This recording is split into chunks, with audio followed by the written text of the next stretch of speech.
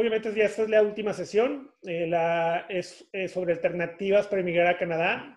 Eh, como lo esté en las últimas pláticas, voy a estar cambiando un poco entre la presentación y la página de inmigración para que vean, en caso de quieran ver más a detalles cada programa. los programas, para emigrar a Canadá, como he dicho, la, la, manera principal es el Express Entry, que es un programa en el cual inmigración trata de impulsar a a la gente, eh, ingresar a toda la gente que quiere emigrar a Canadá en una sola base de datos para que de esa manera eh, se elijan las personas con más puntaje o en ocasiones las provincias pueden llegar y, e invitar a personas. Eh, en el caso de que una persona no reciba una invitación, hay otros programas migratorios.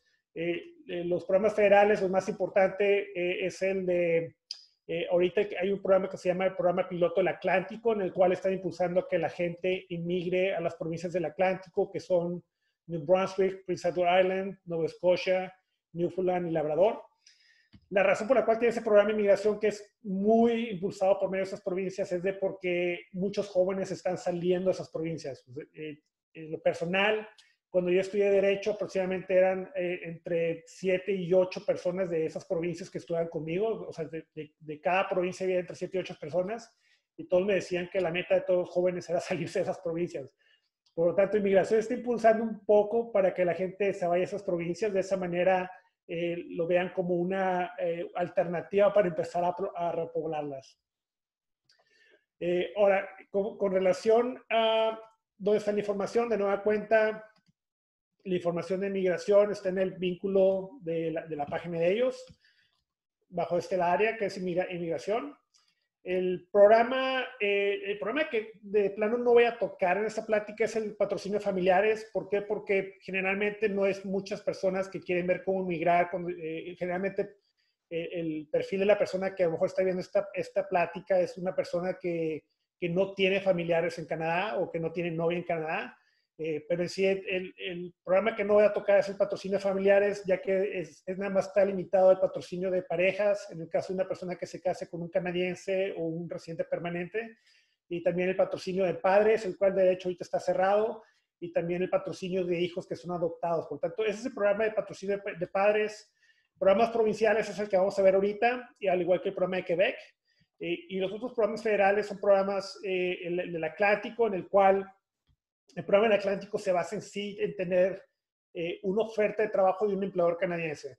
Por ejemplo, una persona eh, puede entrar bajo el programa del Express Entry, puede indicar un interés en vivir en nuestras provincias y eh, la persona debe tener una oferta de trabajo por parte de un empleador que esté en esas provincias.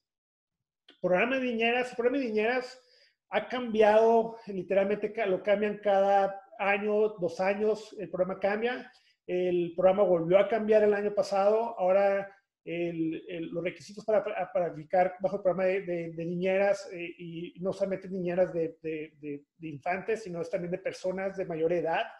Aquí lo que pasa muy seguido es de que eh, gente de mayor edad o los familiares les sale más económico para pagar a que alguien esté cuidando a una persona mayor que tenga problemas de salud, a que la persona deje su trabajo para cuidar al familiar. Por lo tanto, el programa de niñeras es una manera que, que muchas personas utilizan para emigrar, en ocasiones para cuidar a un familiar. Digamos, si yo tuviera eh, mi madre aquí que está mala de salud y tengo un hermano en México o una hermana eh, y tiene estudios en salud o tiene estudios de cuidado de niños, eh, obviamente yo podría tratar de, de, traerme a mi hermano por medio del programa de niñeras para que eventualmente califique la residencia. El problema del programa de niñeras es de que es un programa limitado, tiene un cupo. En el pasado no había cupo y había eh, entre 10.000 y 30.000 solicitudes al mismo tiempo, lo cual hacía que los tiempos de procesamiento tardaran mucho.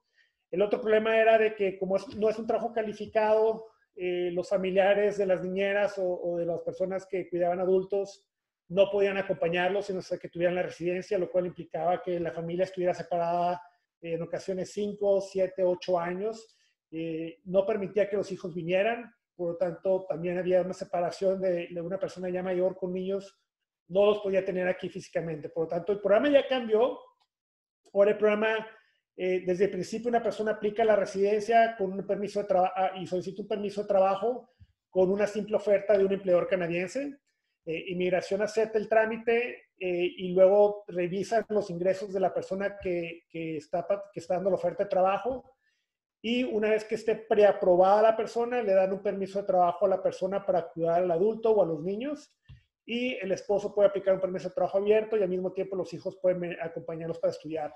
Eh, por lo tanto, el esquema cambió eh, de, eh, completamente. en lugar de que los familiares no pudieran venir, ahora ya pueden venir desde el principio y pueden estar aquí al cuidar, eh, de un adulto o a, un niño.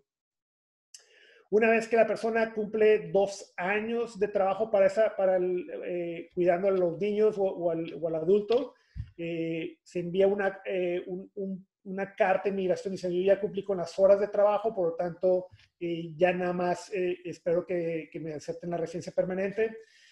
El único inconveniente del programa es que posee una cuota de cuántas personas entran, por lo tanto, eh, ahorita el problema principal es de que mucha gente ya califica para, para, la residencia permanente, pero se llena la cuota, lo cual hace que ingresen hasta el siguiente año, luego el siguiente año se vuelva a llenar la cuota y, y, y ahorita no hay problemas, pero los problemas van a empezar a pasar a partir de, digamos, eh, marzo a, noviembre del próximo año, cuando las cuotas literalmente se llenen en cuestión de semanas en lugar de, meses. Startup Visa es un programa para incubadoras. Eh, es un programa que empezó en Los Ángeles hace tres años aproximadamente. Generalmente en el pasado, cuando recién empezó el programa, se, tenía se, requería el apoyo de una incubadora de, por medio de Estados Unidos que fondeara la inversión en Canadá. Eh, y esto lo hicieron para traer más tecnología. la manera en la que trabaja ese programa es de que una persona crea su plan de trabajos, va a una incubadora, la incubadora dice, ¿sabes qué? Yo te voy a financiar tu, tu, tu, tu tecnología o tu software, tus apps, etcétera, pero te tienes que instalar en Canadá eh, tienes la carta en la incubadora con tu plan de trabajo y aplicas y migración te da un permiso de trabajo eh, para, que realmente, para que empieces inmediatamente a, realizar tu, tu, programa de trabajo. Y una vez, eh, al mismo tiempo puedes aplicar la residencia, por lo tanto, entras al programa con un permiso de trabajo y, y, ya entras con un trámite de residencia permanente. Lo que ha estado pasando ahorita, por ejemplo, en, en British Columbia, donde yo estoy, y también en Montreal, es de que hay muchas compañías grandes, de, por ejemplo, Amazon, eh, Google, eh, Microsoft, eh, incluso Facebook, que están abriendo campus aquí en, en, la provincia de British Columbia y en Montreal. Estados Unidos anteriormente tenía cierto límite de visas de tecnología, poco a poco las han estado reduciendo. los el apetito de las compañías grandes para traer a, cerebros en Estados Unidos ha aumentado mucho, lo cual ha hecho que tengan que ver cuál es la, una alternativa para tener esos cerebros cerca de Estados Unidos. Canadá está explotando esa área y lo está haciendo por medio, por ejemplo, de este programa que es el Startup. Y al mismo tiempo, eh, la mayoría de las provincias tienen programas pilotos para impulsar la inmigración de compañías tecnológicas a Canadá. En el caso de British Columbia, por ejemplo, eh, Amazon tenía el plan de construir un campus en Nueva York, cerraron la inversión, pero al mismo tiempo, mientras hacían eso, compraron eh, un edificio grande aquí en Vancouver y, no, han, no ningún anuncio, pero ya empezaron a construir eh, un campus que va a ser aproximadamente, se espera que estén entre 5.000 y 10.000 personas. Por lo tanto, en teoría, cerraron Nueva York, pero sin decir nada, poco a poco se, han establecido, se, están estableciendo más aquí en British Columbia. Y la ventaja es de que, por ejemplo, Amazon es, un, es dos horas y media Seattle, por lo tanto puedes tener empleados que pueden ir y venir sin ningún problema con inmigración. Y se brinca en el requisito de tener visa de Estados Unidos. En el caso, por ejemplo, de Microsoft y de eh, Microsoft también tiene un campus aquí en, en, en Richmond, British Columbia, en el cual tiene aproximadamente mil empleados y se espera que en los próximos cinco años aumenten casi cinco mil, seis mil personas. Eh, Google está más bien en Toronto. Tienen, eh, tengo amigos trabajando ahorita en Google y, y, lo que me han dicho es lo mismo, que debido a que están cerrando las puertas a Estados Unidos con los visas de tecnología, pues obviamente están haciendo el cambio aquí. Y así como esos ejemplos, les puedo decir varios ejemplos de cómo eh, los gobiernos provinciales están abriendo ciertos programas para dar facilidad a compañías de tecnología para que se instalen aquí. Y en el caso del gobierno federal, lo que están haciendo es atraer a gente joven con talento que quiera crear el próximo Facebook eh, o el, el, próximo Tesla, en pocas palabras, y se instalen aquí con capital canadiense y al mismo tiempo atraigan a cerebros. El siguiente programa es el, programa de, trabajadores autónomos o es como si fuera contratistas. Eh, este programa está limitado a personas que tienen éxito a nivel cultural, eh, a nivel de deportes eh, y a nivel de cultura. en la práctica, yo solo he hecho cuatro trámites de estos en los últimos 15 años. La razón es de que son trámites que tienen la eh, de, prioridad a fines de inmigración. Es el programa que menos prioridad tiene. Es más fácil inmigrar como cocinero que inmigrar como un autor de libros o un deportista, etc. la razón es de que es un trámite, tienes que demostrar que tienes éxito luego eh, eh, en tu área, eh, en los casos que llevé, llevé los casos de dos escritores, una violinista y también una persona eh, que tenía experiencia como cantante. Por lo tanto, esos trámites, el primer trámite tardó aproximadamente seis años y los otros tres en promedio tardaron casi cuatro años y medio, lo, cual da a entender que, que, realmente nunca ha sido la prioridad del gobierno. Eh, ese trámite es parecido al Express Entry, en el cual la persona debe tener un cierto puntaje y debe tener ciertos fondos y obviamente demostrar el nivel cultural que tiene la persona o el nivel de deportes y demostrar que es reconocido a nivel mundial, etc. Los siguientes programas son programas que son casi nuevos, el programa rural de comunidades rurales, eh, al igual que el programa del Pacífico, el, programa, el programa rural es para impulsar la inmigración a ciertas comunidades que son muy pequeñas y que quieren impulsar la inmigración a esos lugares. Eh, por ejemplo, en el caso de British Columbia eh, está la comunidad de Vernon, que es un pueblito, literalmente, eh, y, lo, y, la manera que trabaja ese programa es de que una persona debe de estudiar mínimo ya sea un año o trabajar un año en esa, en esa ciudad, y por medio de la ciudad, la ciudad es la que empuja a la persona para que tenga la residencia permanente. O sea, es como si fuera un programa en el cual el patrocinador es la ciudad la que te da la residencia permanente en lugar de un empleador. Programa de Agricultura, ese programa literalmente abrió ahorita en marzo, es un nuevo programa. Canadá y, al igual que Estados Unidos tienen programas de trabajadores temporales agrícolas en los cuales eh, cada año eh, personas vienen a Canadá a trabajar en los campos o, o, también a sembradíos, etcétera. El problema que tenían muchas de esas personas es de que puedes estar, en el programa agrícola por 15, 20, 30 años y no calificar a la residencia permanente porque esos programas no te permiten aplicar la residencia permanente. Debido a presión de ciertos programas, el gobierno de Canadá abrió el programa piloto de agricultura, eh, lo cual realmente no ayuda a las personas que han estado bajo el programa ahorita. O sea, si, yo soy trabajador temporal en Canadá y no tengo Ah, y soy un trabajador temporal por medio del tratado del Acuerdo de México y Canadá. E, este programa nuevo no me permite todavía aplicar la residencia. Lo que tiene que hacer el empleador es salirse del programa temporal y contratarme como trabajador eh, no calificado, como lo vimos la, sesión pasada. Y después de un año ya puede calificar a la persona a, a inmigrar por medio del programa agrícola. El único problema del programa agrícola es que nada más tiene una cuota de mil personas y el segundo problema es de que el trámite de, de LME es un trámite que, que, tiene que hacer el empleador y generalmente para un empleador, en lugar de decir, ¿sabes qué, gobierno? Te voy a pagar mil dólares para que me autorices a contratar a, este, a esta persona. Lo que voy a hacer mejor es traérmelo bajo el programa, el tratado entre Canadá y México y de esa manera no tengo que incurrir en un gasto y el trámite es más rápido y, y puedo tener la misma persona sin, sin que le dé la residencia permanente y de esa manera eh, se vuelve un círculo vicioso entre el que el empleador quiere apoyar al trabajador extranjero, pero al mismo tiempo no quiere darle la residencia para que sea independiente a largo plazo. Refugiados, no lo puse en, el, en, el, en, el, programa, en la, en la guía. Eh, yo honestamente no llevo casos de refugio, de refugio y asilo. La razón principal que no lo hago es porque cuando recién empecé, lo que oía eran fraudes de personas que literalmente oían del vecino o del primo que Canadá estaba aceptando refugiados. Mucha gente llegaba conmigo, me decía, oye, yo quiero ser refugiado porque en mi pueblo me pasó esto y esto y esto. Luego a la semana llegaba otra persona y me decía exactamente la misma historia. Y cuando llegaba el tiempo de aplicar, de tener las audiencias de refugio, eh, no tenía ninguna prueba porque todo era falso. Eh, mucha gente que aplica el refugio lo que no saben es de que una vez que te rechazan el caso de refugio, limitas tu posibilidad de poder regresar a Canadá.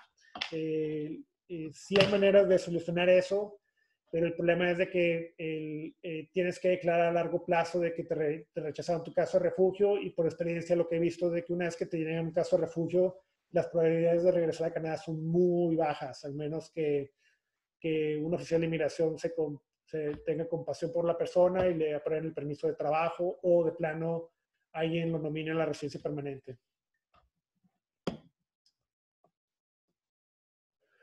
Ahora, ya los siguientes son programas provinciales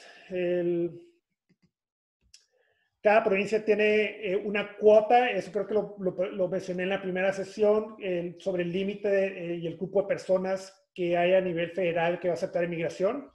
Eh, los programas provinciales los fija cada provincia, o sea, no es algo que inmigración esté obligado a, a respetar. El, eh, lo que vamos a estar, lo que hice en la presentación es de que cada, eh, cada programa de la provincia en la primera parte van a ver el vínculo para el caso de que quieran ingresar a ver más información. Disculpa, Luis. ¿Sí? Ah, perdón, tengo una pregunta. ¿Puedo preguntar? Sí, adelante. ¿Por qué? ¿Cuál es el mito que existe con el tema de refugiados? Porque hay tanto, o sea, como que es muy, es como un mito, ¿no? Más que, más que una realidad que la gente pida refugio o que de pronto hay programas internacionales de refugio, porque como que tienden a pensar que es una forma fácil de que el gobierno te, te reciba, ¿no? Pero ¿por qué, ¿por qué se da este fenómeno? el, el, los trámites de refugio, eh, lo único que tenías, tienes que demostrar es que tienes un temor fundado, que no te puedes hablar de la justicia de tu país y, y son, los únicos, son los únicos dos requisitos. Por lo tanto, en el pasado, eh, y llegaban, por ejemplo, eh, y no es por, por eh, menospreciar a la gente, pero muchas personas de, que, que, que, son homosexuales llegaban aquí argumentando que México era un país machista, etcétera, y aplicaban el refugio. Y luego se empezó a correr la voz y eventualmente lo que pasó es de que llegó a ser un abuso por parte de la gente que venía de México o de otros países. todo el mundo era gay llegaban gentes que tenían cuatro o cinco hijos diciendo que eran gays con tal de que les dieran el refugio. O sea, a ese grado llegaban los asuntos. Ya. También llegaban los asuntos de que decían, oye, eh, a mí me corretearon un cartel, eh, soy perseguido político, etcétera, etcétera, etcétera. Y el problema es de que literalmente llegaba gente al aeropuerto y decían al oficial de, digamos, en un vuelo de avión llegaban tres familias y la misma historia que yo vengo de tal ciudad, me pasó esto, esto y esto, por lo tanto se hizo mucho abuso, lo cual llegó a hacer que los casos de refugio tardaran dos, tres, cuatro años en resolverse y, y durante ese tiempo el gobierno federal estaba, obligando, estaba obligado a darles asistencia social. Por lo tanto, es como si tuvieras vacaciones gratuitas. Llegabas a Canadá en el pasado, decís, sabes que yo soy refugiado, necesito apoyo económico y la provincia te los daban porque tienes, tienes que sostenerte económicamente. Por lo tanto, había gente que estaba aquí dos, tres años recibiendo sus 1.500, 1.200 dólares al mes sin, sin, nada más por el puro hecho de pedir refugio.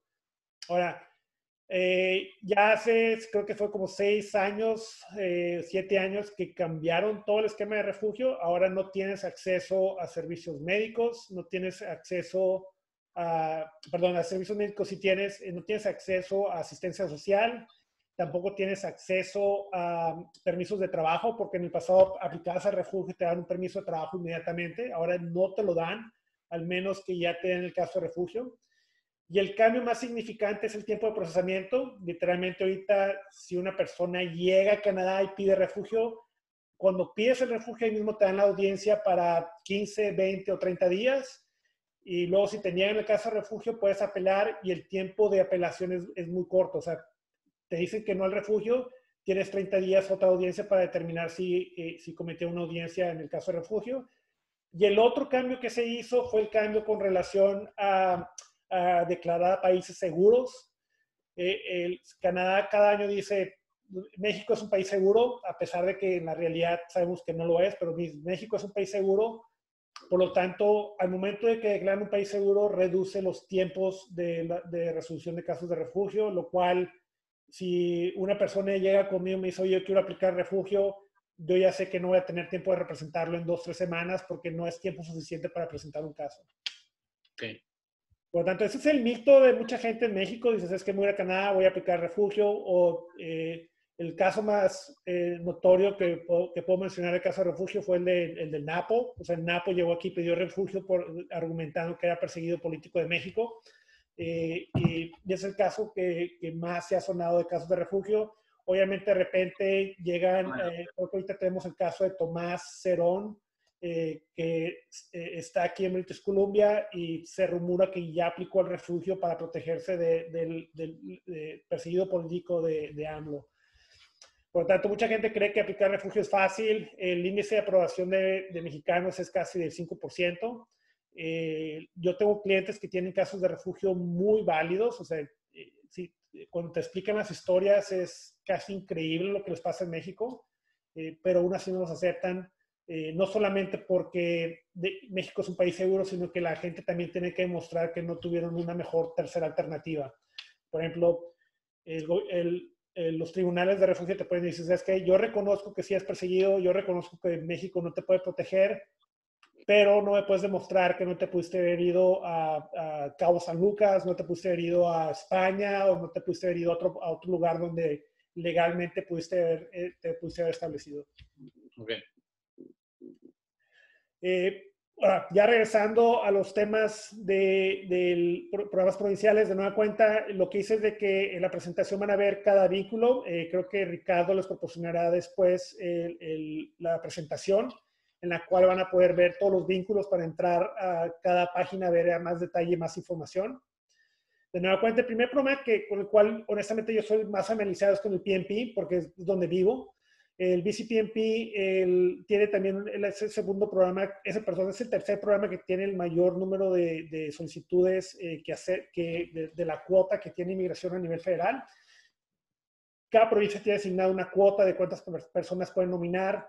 Eh, por lo tanto, eh, cada provincia tiene su manera de llenar esa cuota. En el caso de Quebec es un programa especial porque ellos manejan su programa migratorio aparte de inmigración, inmigración federal lo único que puede hacer inmigración federal es determinar si la persona tiene antecedentes penales o, es inadmisible por cuestiones médicas. Eh, pero cada provincia tiene su programa migratorio. Por ejemplo, en el caso de British Columbia, eh, el primero que voy a hablar es eh, el programa que se llama Semi-Skill. De hecho, ahorita voy a regresar un poco a la página de la provincia para que vean más dónde se encuentra la información o cómo se ve la página.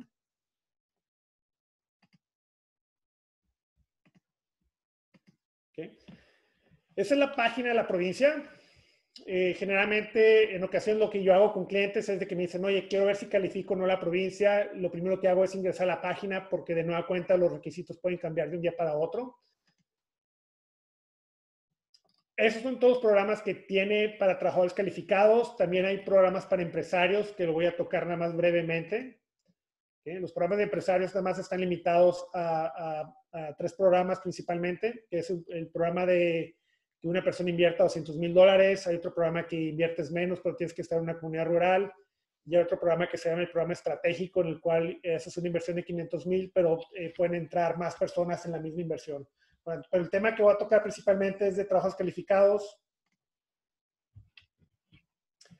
Esa es la página. El, ahí el, todos los programas tienen eh, requisitos bases. Eh, los requisitos bases es tener cierto puntaje, es, como si fuera a nivel federal igual. Eh, se determina cuál es tu nivel de educación, tu nivel de estudios, etcétera. Y en base a eso, la persona tiene cierto puntaje y la provincia da invitaciones dependiendo cuál es el puntaje. por ejemplo, igual lo que hago, siempre checo la, el puntaje para aplicar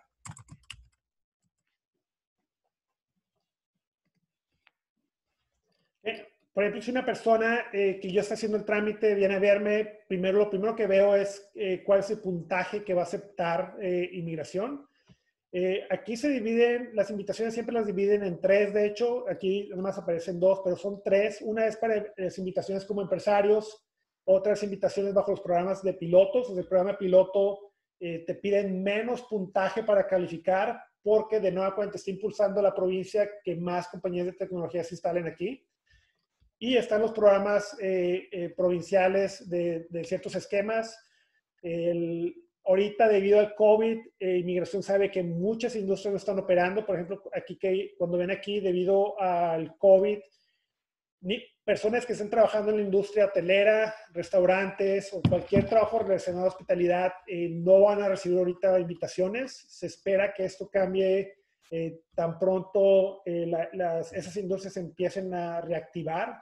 Pero, por ejemplo, ahorita todos esos no son con relación a hospitalidad. Por lo tanto, si, un cliente llegara conmigo y me dice, oye, yo no aplico al Express Entry, eh, puedo calificar bajo el PMP, eh, puede ser que tengan el puntaje, pero el problema es de que ahorita debido al COVID eh, la provincia no está invitando a esas personas. yo, se espera que más o menos como hasta finales de año sea cuando la provincia empiece a reactivar invitaciones bajo esos programas.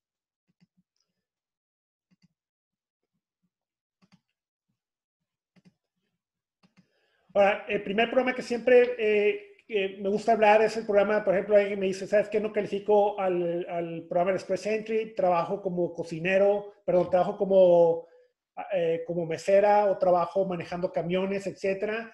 El programa de la provincia tiene eh, un programa que se llama para personas que son semi-calificadas y también para personas que vienen en el noroeste de British Columbia. El, debido a que la industria de turismo es la segunda industria más grande de aquí de British Columbia, la provincia tiene este programa especial para personas que trabajan nueve meses para un empleador eh, con un permiso de trabajo ya sea abierto o un permiso de trabajo específico. Eh, esas personas después de trabajar nueve meses, si tienen el apoyo de un empleador, pueden aplicar a la residencia permanente a pesar de que sea una ocupación que no sea calificada. Por lo tanto, trabajos, por ejemplo, de meseros, eh, personas que trabajan en hoteles, eh, por ejemplo, personas que hacen las camas, etcétera, o personas que trabajan eh, como persona de intendencia en restaurantes también califican. Por tanto, todas las personas que, que trabajen nueve meses con un permiso de trabajo abierto en esas áreas pueden aplicar ese programa. En la práctica, por ejemplo, tengo personas que estudian aquí una maestría. Por ejemplo, tuve una coreana que estudió la preparatoria, estudió la licenciatura y luego se aventó la maestría y luego me decía, ¿sabes qué? No encuentro trabajo. O sea, a pesar de tener maestría, no encontraba trabajo. Le quedaban dos años de permiso de trabajo abierto. Eh, lo que le dije a ella, ¿sabes qué? Mira, si, no si de plano nomás no encuentras trabajo por alguna otra razón, eh, te recomiendo que trabajes, eh, que te metas a trabajar en un Subway, en un Starbucks, eh, y si el empleador te va a echar la mano después, ya puedes aplicar bajo ese programa. La mayoría de los programas provinciales de British Columbia, excepto un solo programa, requieres el apoyo de un empleador. Por lo tanto, los requisitos principales bajo esos programas provinciales de British Columbia es de que el empleador debe tener mínimo cinco empleados eh, por cada extranjero que vayan a contratar. por lo tanto, si yo tengo un restaurante y quiero apoyar a la mesera, eh, debo demostrar que tengo cinco trabajadores canadienses por cada extranjero que quiero nominar.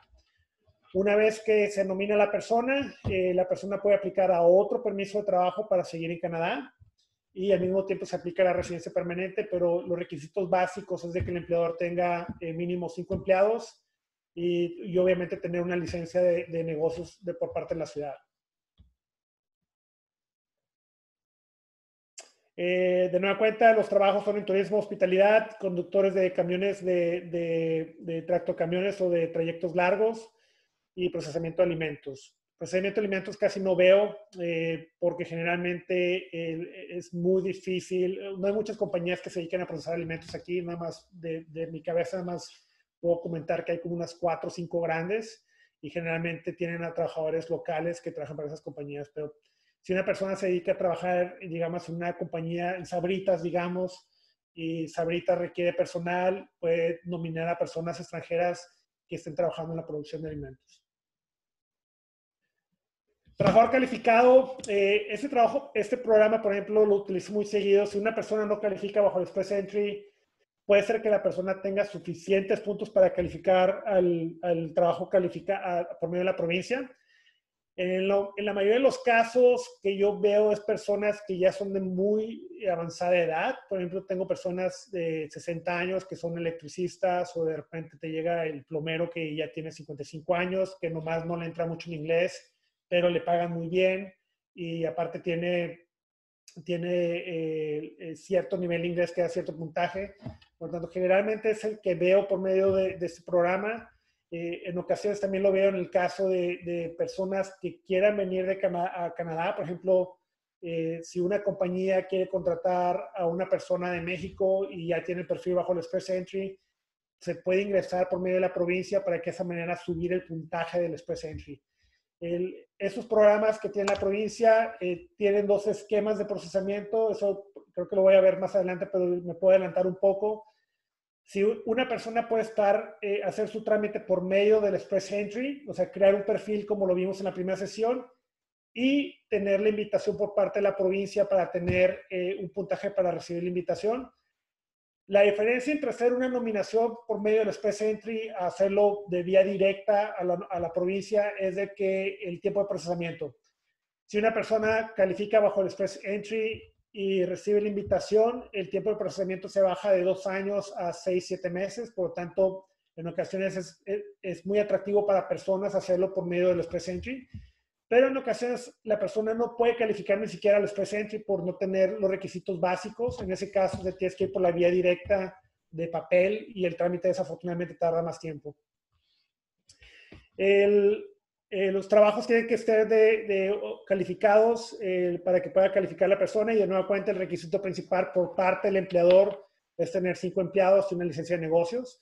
Aunque no lo crean, tengo clientes que no califican, por el puro hecho de que el empleador no quiere aplicar una licencia de negocios que les cuesta 200 o 300 dólares. Y en otros casos, el problema es de que en ocasiones el empleador realmente no quiere apoyar a la persona porque tiene que dar una oferta de empleo permanente y el empleador no se quiere arriesgar a dar una, una, una oferta de empleo permanente cuando ya hay problemas de cuestión de entre el empleador y el extranjero.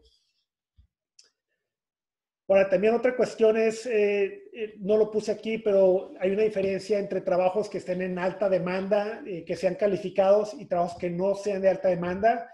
Si un trabajo está considerado por la provincia de alta demanda, la provincia te da respuesta a tu trámite en 10 días. Por ejemplo, creo mi perfil hoy, dentro de dos semanas ya me llega la invitación para, para ingresar mi trámite. Si un trabajo no está en demanda, eh, la primera parte del trámite, del trámite tarda aproximadamente entre tres y cuatro meses. Ahorita debido al COVID, probablemente ya estemos a cinco meses de procesamiento para la parte inicial del programa. Y, y una vez que se recibe la nominación, es, eh, si es por medio del Express Entry, automáticamente el sistema me dice que tengo que ingresar mi trámite de residencia permanente. Si el trámite es por medio de papel, eh, tengo hasta seis meses para ingresar el trámite de, de residencia permanente. Ese es otro programa que también veo muy seguido. Este programa, por ejemplo, es para chavos. Eh, eh, es lo que veo más seguido de que una persona viene a estudiar aquí una licenciatura o viene a estudiar un diplomado de dos años, no tiene experiencia laboral en México, por lo tanto no califica bajo el Express Entry inmediatamente, pero llega aquí, estudia un programa de dos años, una, una licenciatura. Al graduarse, el único requisito es que eh, un empleador le dé una oferta de trabajo en algo relacionado a lo que estudió la persona y obviamente eh, está sujeto al puntaje que, que, esté dando invitaciones, porque en ocasiones el puntaje va a variar dependiendo de la experiencia laboral, pero también puede subir si el salario es alto. Por ejemplo, si, si una persona recién graduada no tiene experiencia laboral, la provincia me va a bajar puntos o, no me va a dar puntos, pero esos puntajes se puede recuperar si el salario es más alto. Eh, el requisito principal es haberse graduado de un programa de dos, de mínimo de dos años, eh, y el otro es que se tiene tres años para, eh, para ingresar, la, ingresar la, el trámite de nominación. International Postgraduate, este es el único programa que te permite aplicar directamente a la provincia una nominación sin necesidad de tener una oferta de trabajo. El único requisito es estudiar una maestría y un doctorado eh, en las áreas que vienen aquí, eh, que es tecnología, ciencias de la salud, eh, educación, creo que es, perdón, biología marina, ciencias naturales, agrociencias, matemáticas, ciencias de la física. Eh, en esta área he llevado aproximadamente como unos 15 trámites en el pasado y el único requisito nueva cuenta es nada más haberse graduado, te dan tu carta de, graduación y literalmente puedes aplicar directamente a ese programa. El propósito que, por el cual está ese programa es para tener gente educada en Canadá. Eh, ese es el único propósito. Eh, inmigración te, te reconoce, tú hiciste tu doctorado en Canadá, pues obviamente yo no quiero que te vayas a tu país. Me conviene más que te quedes aquí en Canadá. Igual personas que estudian maestrías. Eh, un ejemplo que, de un caso que yo tuve fue una, de una muchacha de Monterrey que estudió la maestría y a ella la jalaron para, aplicar, para que se cambiara de maestría a doctorado. y literalmente en lugar de estudiar cinco o seis años, estudió tres años, pero terminó con un doctorado. Y de nueva cuenta, este programa no requiere tener el apoyo de un empleador. Por lo tanto, eh, tengo, es muy seguido que tengo clientes que estudian ingenierías en México, ingeniería civil o, algo así. Y mi primer consejo, si veo que no califican bajo los pre-entry o ya tienen arriba de 40, 40, 40 45 años, es considerada estudiar una maestría para que de esa manera ya se casi directamente a una residencia permanente. El siguiente programa es el programa de Alberta. El programa de Alberta, el, lo que hacen ellos es más impulsar a las industrias que tienen Alberta, que es industria de petrolera. El, eh, Alberta eh, en el pasado eh, daba muchos ah, todo el, casi 50% del ingreso bruto de Alberta es relacionado al petróleo o producción de gas. Por lo tanto, el programa de Alberta en sí se, enfoca más en esas áreas.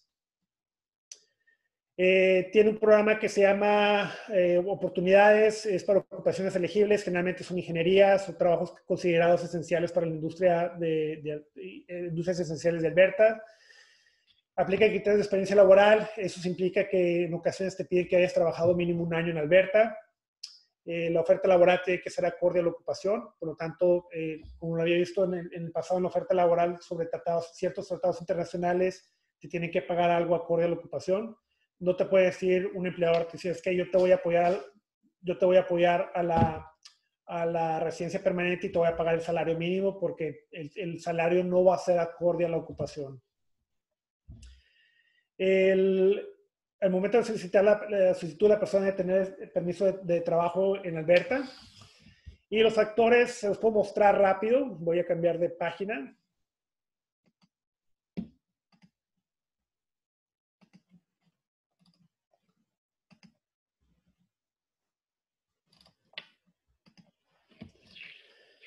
Tener, generalmente tener una LMAE o tener un permiso de trabajo sujeto al empleador o tener un permiso de trabajo abierto. Personas que no pueden aplicar son personas que hayan vivido en otra provincia. Por ejemplo, si yo estudié o tengo un permiso de trabajo para trabajar en BC, no puedo aplicar por este programa porque Alberta lo que me pide es que demuestre que realmente haya vivido ahí.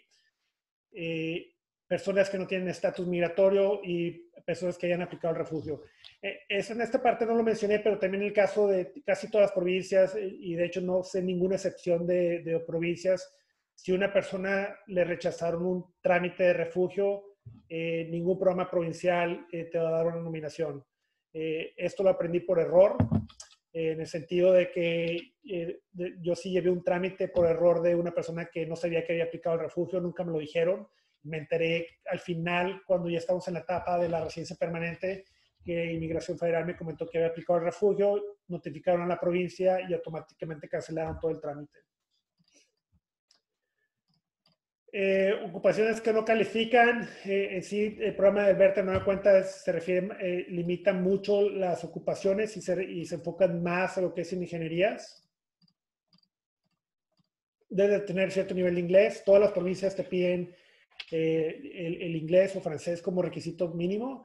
En el caso de Alberta te piden tener el mínimo un nivel de inglés. En el caso de British Columbia es por puntos, por lo tanto puede ser que tu nivel de inglés no sea alto, pero en otras áreas puedes subir el puntaje. Y debes de tener, a partir del 2000 de enero, debes de tener eh, ciertos estudios equivalentes a preparatoria mínimo. Eh, lo cual implica que las personas eh, probablemente tengan que tomar un examen de validación de los estudios en Alberta para que de esa manera el gobierno de Alberta diga, sabes que tú ya terminaste la preparatoria. La razón por la cual están haciendo eso es porque de nueva cuenta en ocasiones eh, las credenciales se pueden falsificar, por lo tanto Alberta se quiere asegurar de que la gente no haga eso. Luis, disculpa, perdón la pregunta. ¿Cuál es el de las provincias, cuál es la provincia que da más facilidades de todas? O sea, si alguien quisiera como asegurar su, su Fast Pass, ¿cuál, ¿cuál es la que es como la más abierta a recibir eh, migración? Ah, te voy a mostrar un mapa, ¿cuál es la más factible? No, no, no te sabes el nombre. Está tan lejos. pero te quiero mostrar por qué es la más no, era broma, era broma. Yo sé que al, norte es muy, muy al norte, ¿no? Sobre todo las, las, de hasta arriba son las que... El, programa de Yukon es el más factible. De hecho, es, es una de las opciones que voy a leer más adelante, pero me puedo adelantar ahorita un poco. Ajá. El programa de Yukon, eh, cualquier trabajo que hagas, después de seis meses el empleador te puede nominar. Okay. Y eso es parecido también al programa que tiene el Nueva Scotia, perdón, a Prince Edward, que es ese, Newfoundland, perdón. Newfoundland y Labrador, cualquier trabajo que hagas después de seis meses se puede nominar al empleador a la residencia permanente y el único requisito del empleador es tener dos empleados más el extranjero. El, ¿Cuál es el problema de, esos, de estos lugares? Nada más ve que tan cerca están al Polo Norte. Sí. Por lo tanto, en esos lugares eh, sí hay trabajos, de hecho yo tengo clientes ahorita, eh, y, no solamente es fácil hacerlo ahí, también lo puedes hacer por medio del noroeste de British Columbia, que es esta parte. Hay un programa especial de British Columbia para personas que viven ahí, que trabajas igual nueve meses, cualquier ocupación. El problema es aguantar los nueve meses. Y no solamente eso, el problema es de que trabajas los seis meses, aplicas a tu luego se espera que te llegue la residencia permanente si dejas tu trabajo mientras está tu trámite de residencia permanente, te pueden quitar la nominación. Por lo tanto, mucha gente le digo, ¿sabes qué? Lo más factible, hay gente que me dice, oye, yo soy muy buen trabajador, etcétera. Eh, digo, ¿sabes qué? Busca trabajo en el Yukon. Te puedo asegurar que empleadores te van a querer contratar, pero para aplicar la residencia te vas a tener que quedar ahí dos, tres años y literalmente no aguanta ni siquiera los primeros dos meses del invierno. Wow. Wow.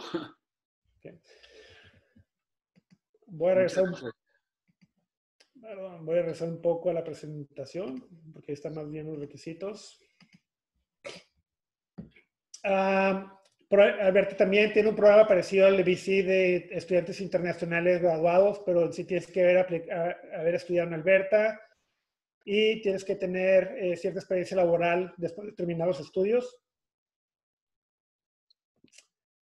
El, personas que a lo mejor están viendo esto, que se dedican a crecer cosas en sus casas, no me refiero a cannabis, sino que también hay programas de empresarios. El programa empresarios de, Alberta es más bien para agroempresarios, en el cual tienes que hacer una inversión mínima de 500 mil dólares y demostrar que tienes mínimo tres años de experiencia manejando una granja en México. Ahora, lo que estoy haciendo nueva cuenta, estoy yendo de British Columbia del oeste hacia el este. Siguiente programa es el programa Manitoba. De nuevo cuenta, dice la página para ir al programa Manitoba. El programa Manitoba no lo voy a mostrar en la página porque en sí lo que es Manitoba y Saskatchewan son muy parecidos los programas.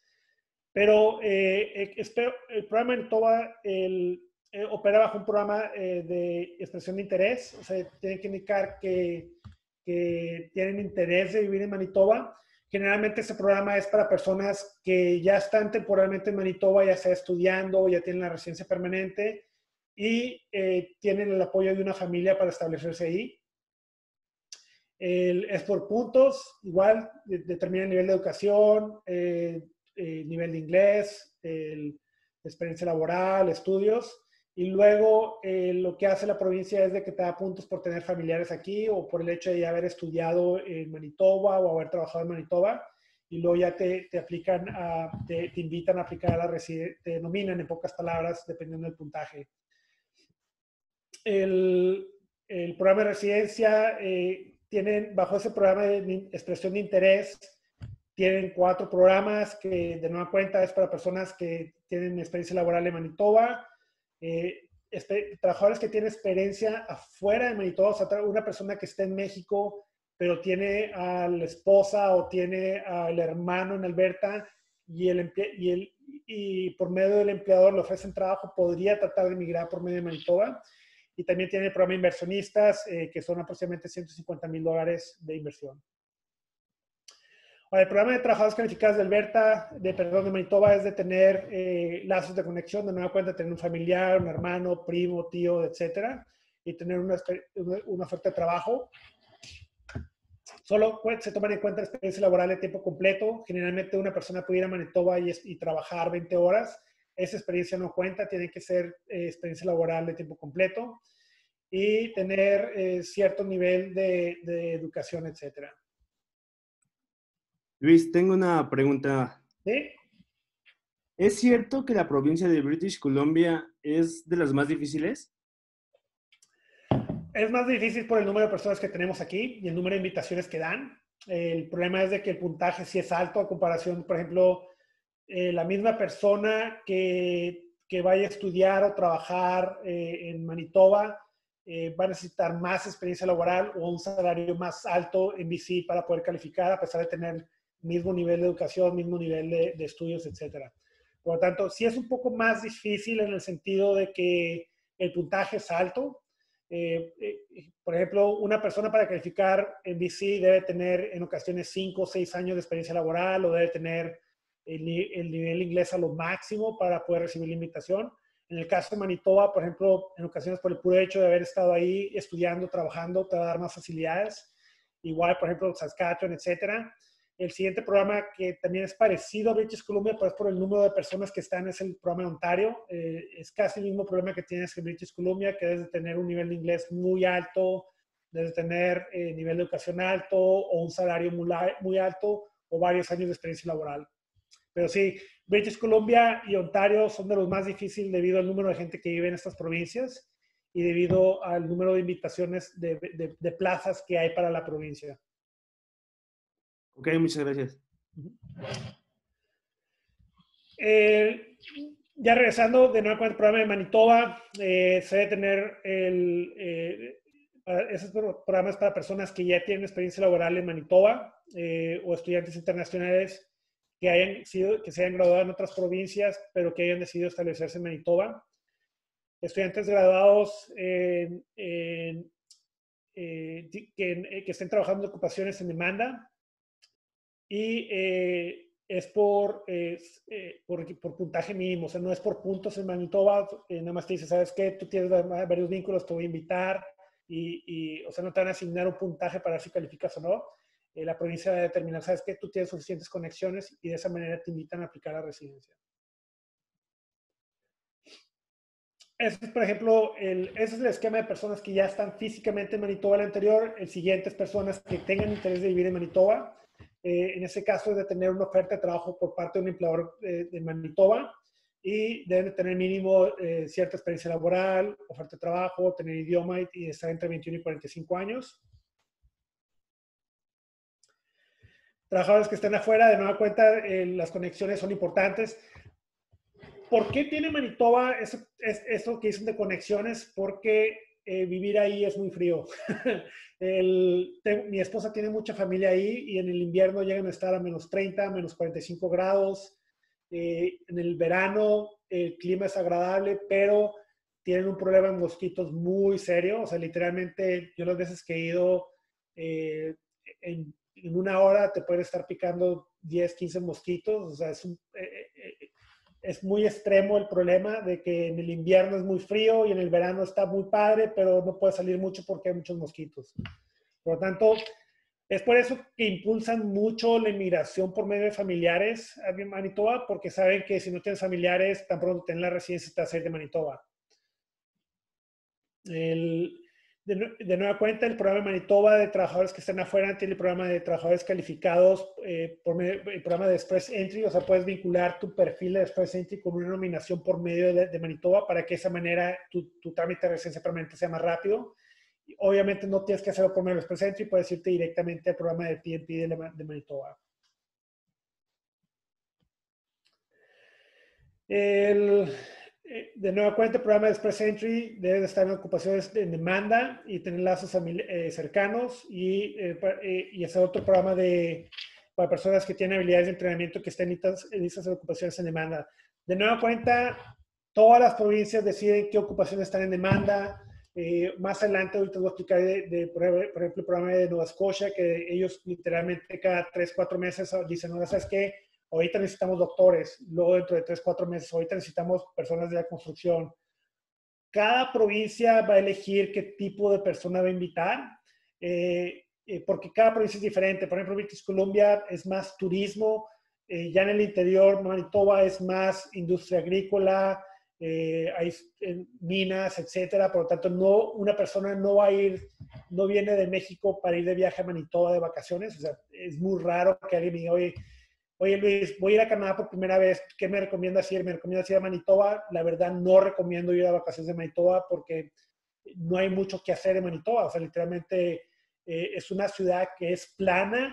Eh, cuando yo fui a Manitoba me dio risa porque eh, un sábado vimos que había muchos carros arriba que, y estar en un puente.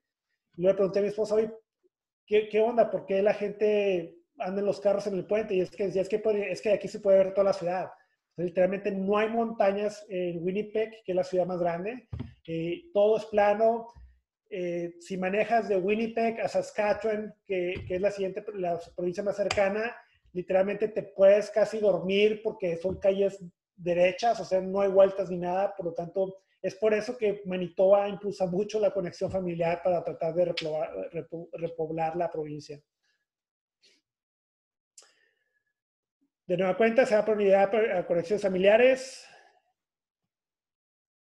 International Education Stream, estudiar en Manitoba, igual que las otras provincias, te da la posibilidad de aplicar a la nominación.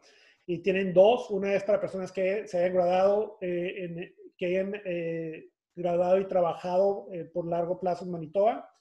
Y personas que hayan hecho un internship. Por ejemplo, hay personas que estudian maestrías o doctorados y tienen que ir a hacer una, eh, sus prácticas a, esas, provincias, a, la provincia de Manitoba, y decides quedarte en Manitoba. En ese caso, puedes utilizar este, este eh, programa para quedarte en Manitoba. International Student Entrepreneur Pilot, el, de nuevo cuenta más aceptan a 20 personas. Eso te puede, puede dar una idea de cuántas personas acepta Manitoba. Este programa es para personas que se gradúan de Manitoba y deciden abrir sus propios negocios. Supongamos que yo nunca he estado en Canadá y, llevo a parar en Manitoba, pero no encuentro trabajo. De plano, digo, ¿sabes qué? Yo soy empresario, voy a abrir mi propio negocio. Eh, te gradúas, aplicas el permiso de trabajo por haber estudiado en Canadá y durante tu permiso de trabajo del postgraduate, eh, abres tu propio negocio. Por lo tanto, esa es la, la, vía que puedes aplicar a Manitoba, y, pero el problema es que es un cupo de 20. Realmente no veo cuántas personas invitan a Manitoba. En la práctica, el, eh, la última vez que hice un trámite con Manitoba fue casi ya hace dos años, porque eh, una persona eh, familiar de, de, de, amigos de una familia de mi esposa estaban ahí y no llevé el trámite, pero sí los apoyé para decirles cómo registrarse y todo eso, pero es muy raro que yo lleve trámites en Manitoba. Inversionista agrícola es parecido de Alberta. Eh, literalmente, si agarras un carro, eh, pasas las montañas rocallosas de British Columbia, eh, llegas a, Banff, pasando Banff, que es una ciudad turística, llegas a Calgary y de Calgary casi hasta Ontario es, es plano, o sea, no hay muchas montañas a comparación de British Columbia y ves campos y campos y campos agrícolas, campos agrícolas, o sea, hay infinidad de propiedades. Por lo tanto, la razón por la cual impulsan la inmigración agrícola es por la cantidad de tierra que hay, que en ocasiones ni siquiera se pueden dar abasto las, las mismas compañías que producen. Disculpa, Luis, eh, ¿podemos admitir algunas preguntas? Sí, adelante. Hola, yo tengo una pregunta. Este, sé que ahorita estamos hablando de otra provincia, pero me queda la duda si para este, la provincia donde se encuentra Quebec y Montreal y así, es necesario o estrictamente necesario saber francés. No es estrictamente necesario, pero te dan puntos. O sea, es por, puntos también Quebec. Por lo tanto, sí te dan la prioridad si hablas, Quebec, si hablas francés. Más adelante tengo Quebec y, y ahí, de hecho, puse los requisitos mínimos, pero eh, de nueva cuenta es, es, por puntos, sí dan prioridad a la gente que habla francés. Ah, ok, ok. O sea, no es, no es obligatorio tenerlo, pero sí es, dicen, o sea, no es obligatorio que hablas francés para venirte a Quebec, pero te van a dar más preferencias si, si hablas francés. Pero realmente hasta todos los anuncios y todo está en francés en Quebec, ¿no? O sea, todo es francés. Así es. Luis, yo tengo otra pregunta. ¿Sí? Eh, acabo de terminar la carrera, pero quería preguntar acerca de qué provincia acepta trainees, o si hay estos programas. Perdón, perdón, ¿qué acepta qué? Ajá, que acabo de terminar la carrera, pero me interesa pues tener, tener la experiencia en el extranjero. Quería preguntarte acerca de si hay alguna provincia que acepte o que tenga programas de trainees. No, antes estaba, uh, había un programa que se llama Working Holiday Visa, que era para personas que iban a hacer sus internships, o sea, sus prácticas. El programa está cerrado desde hace ya cuatro o cinco años, si bien me acuerdo, eh, en el cual una, tú le decías a una compañía, oye, yo quiero hacer mis prácticas profesionales para terminar mis estudios. Eh, o en ocasiones decías, ¿sabes qué? Eh, necesito una oferta de trabajo para tener algo de prácticas eh, ese programa está cerrado, pero si no hay ninguna provincia que te diga, sabes que yo te voy a aceptar aquí para hacer tus prácticas profesionales o para eh, tener experiencia. Todas las provincias te van a exigir que tengas una oferta de trabajo, de nueva cuenta, ya sea con un LMAE o calificar bajo un tratado internacional. Ah, ok, perfecto. Muchas gracias. Yo tengo otra pregunta. Eh, Sí, adelante. Si yo quiero ser abogado, bueno, acabo de terminar la carrera y me gustaría estudiar una, una maestría en una provincia. Eh, ¿A qué exámenes puedo aplicar de las barras de allá? Eh, bueno, esa, esa fue, eh, esa pregunta es muy fácil para mí porque fue lo que yo hice. El, todas las provincias te exigen que tengas estudios equivalentes a estudios de abogado de Canadá. Eh, estudiar en Canadá y en Estados Unidos, bueno, Estados Unidos es un poco diferente, pero estudiar, para ejercer en Canadá tienes que tener eh, mínimo tres años de estudios en algo equivalente a estudios de derecho. El problema es que para, en, Canadá y en Estados Unidos y en Inglaterra, todos los países que utilizan el derecho anglosajón, eh, estudiar derecho es algo que haces después de haber estudiado tu universidad.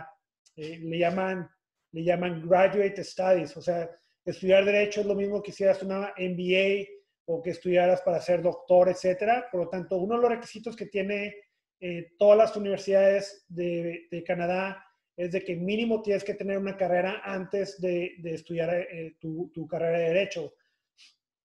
Por ejemplo, en mi caso, yo cuando, cuando vine aquí en el, en el 2000, eh, había terminado la carrera en México, yo pude haber aplicado a una provincia para que hiciera una excepción y me reconocieran ciertos estudios de la carrera de México, pero el número de personas que aceptan para hacer esas excepciones está muy limitado. Por ejemplo, en mi caso, que estudié aquí en la Universidad de British Columbia, en aquel entonces nada más aceptaban a cinco personas de, que hacían excepciones de 200. Por lo tanto, eh, lo que hace la mayoría de la gente es estudiar toda la carrera de Derecho de nueva cuenta la carrera de Derecho de México me lo tomaron como el prerequisito eh, y volví a hacer la carrera de Derecho aquí y luego ya eh, apliqué para la barra de abogados.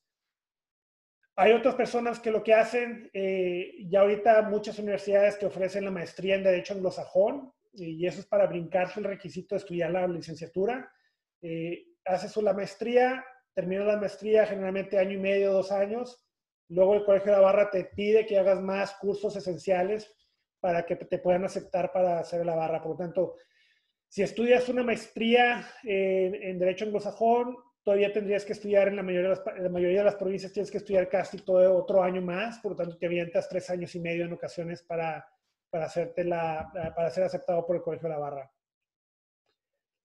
El problema más grande es el costo que, por ejemplo, si te quieres ir por la vía de la, de, la maestría, te va a costar casi eh, tres veces más que estudiar la licenciatura.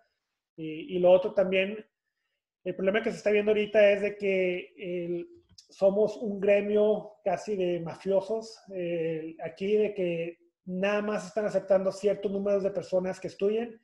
te puedo decir, por ejemplo, que la, la, la, última vez que aceptaron una nueva facultad de Derecho en Canadá fue hace como seis años que aceptaron una nueva facultad de Derecho. No hay muchas facultades de México como, México, como, como lo hay en México. Por ejemplo, en México, yo me acuerdo, yo estoy en Torreón, allá en, en Libero de Torreón, eran como unas 10, 15 facultades de Derecho.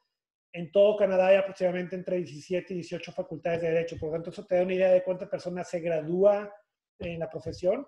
El número de abogados en Canadá es aproximadamente entre 60 mil y 65 mil abogados y cada año se retiran aproximadamente 1.200, 3.000 abogados. Por lo tanto, lo que hacen los colegios de abogados es de que eh, no le permiten a las facultades a, hacer fábricas de estudiantes. Y la otra es de que ejercer derecho aquí te pide hacer prácticas profesionales, lo cual es la otra vía bajo la cual eh, regulamos cuántas personas están entrando al mercado laboral. Eh, ahorita, por ejemplo, eh, hay aproximadamente 300 graduados de facultades de Derecho aquí en British Columbia, de los cuales nada más la mitad pudieron, eh, tienen un lugar para hacer las prácticas y la otra mitad no tiene un lugar donde hacer las prácticas para ser abogados, lo cual obviamente limita que puedan ejercer como abogados. Por tanto, ¿qué hacer en tu caso que te acabas de graduar? El, lo que haría es considerar una maestría, porque va a ser más fácil tratar de hacer la maestría, entrar a una maestría, pero obviamente tienes que tener suficiente dinero para pagar la maestría.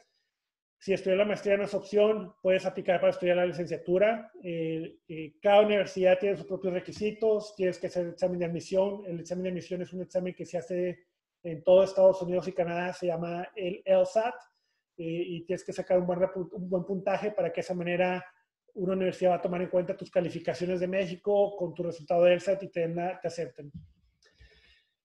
Como ejemplo, yo cuando, nada más brevemente, no nos quiero aburrir hablando de abogado, cómo ejercer en Canadá, pero por ejemplo, yo cuando hice el ELSAT eh, salí bien y de hecho me dieron la posibilidad de, eh, me, me, ofrecían me ofrecí una beca en Estados Unidos porque en aquel entonces necesitaban más hispanos eh, para estudiar Derecho pero obviamente como mi familia, eh, mi esposa es de aquí, eh, decidimos eh, eh, quedarnos aquí en British Columbia. La diferencia de abogacía entre Canadá y Estados Unidos, de nueva cuenta, es un poco diferente. En Estados Unidos hay universidades que no son acreditadas, por lo tanto, literalmente yo puedo graduarme de la preparatoria y puedo aplicar a una universidad que no esté acreditada y luego hacer el examen de la barra. O sea, las barras no tienen restricciones por lo tanto, una persona puede estudiar en una universidad que no esté acreditada por parte del de, National Accreditation Committee y puedes hacer tu examen de la barra. Por lo tanto, cualquier persona que vaya a Estados Unidos, incluso puede estudiar para ser abogado y no tienes que ir a la escuela, puedes hacer el examen de la barra directamente. Pero obviamente una cosa es ser abogado y otra cosa es encontrar un buen trabajo remunerado como abogado en Estados Unidos. En fin. ¿Alguna otra pregunta que, que quieran hacer para eh, seguir adelante? Gracias, Luis. Creo que continuamos. Ok, perfecto. Bueno, pues voy a regresar al programa de Manitoba. De nueva cuenta, este programa de Manitoba, el tres años de experiencia propietario de una granja. No dice, Manitoba no dice qué tipo de granja, por lo tanto, si, eh, si tiene experiencia en el cultivo de, cannabis, por lo tanto, pueden tratar de inmigrar por medio de esa vía. tiene que tener habilidades, por, por, por, lo tanto, tiene que demostrar mínimo haber tenido la granja en México por tres años eh, en, en, tu caso que estudiaste derecho, si derecho no te sirve, puedes comprar tu granja y luego tratar de operarla por tres años y tener 500 mil dólares y establecerte en Manitoba. No lo recomiendo, pero puede ser una opción. Saskatchewan, Saskatchewan es, es casi parecido a Manitoba este programa de internacionales calificados internacionales, experiencia en, en Saskatchewan y el, el, programa de empresarios y de granjas.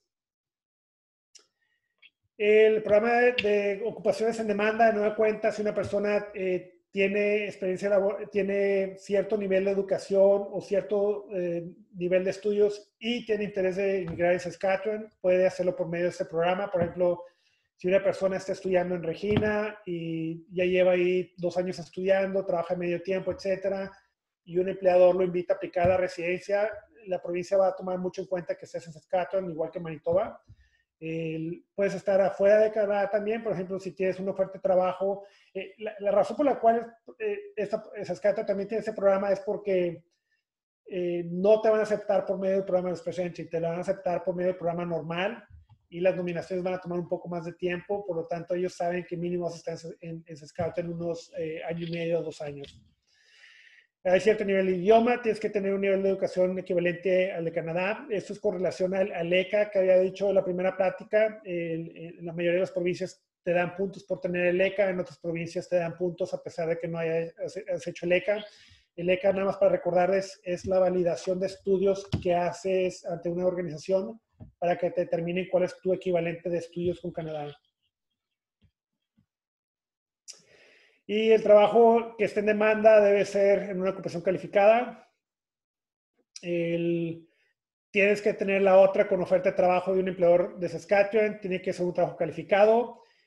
Está el programa de hospitalidad. Es el programa que de hecho yo he hecho más seguido con Saskatchewan. El, programa de trabajos calificados, eh, nada más he hecho uno en los últimos cinco años, pero el, programa de, de subcategorías eh, asesoría a unas personas para hacerlo eh, una persona que ha trabajado es, eh, eh, nueve meses en Saskatchewan, el empleador lo nominó a la residencia y se hizo por medio del programa que se llama Hospitalidad Profesionales.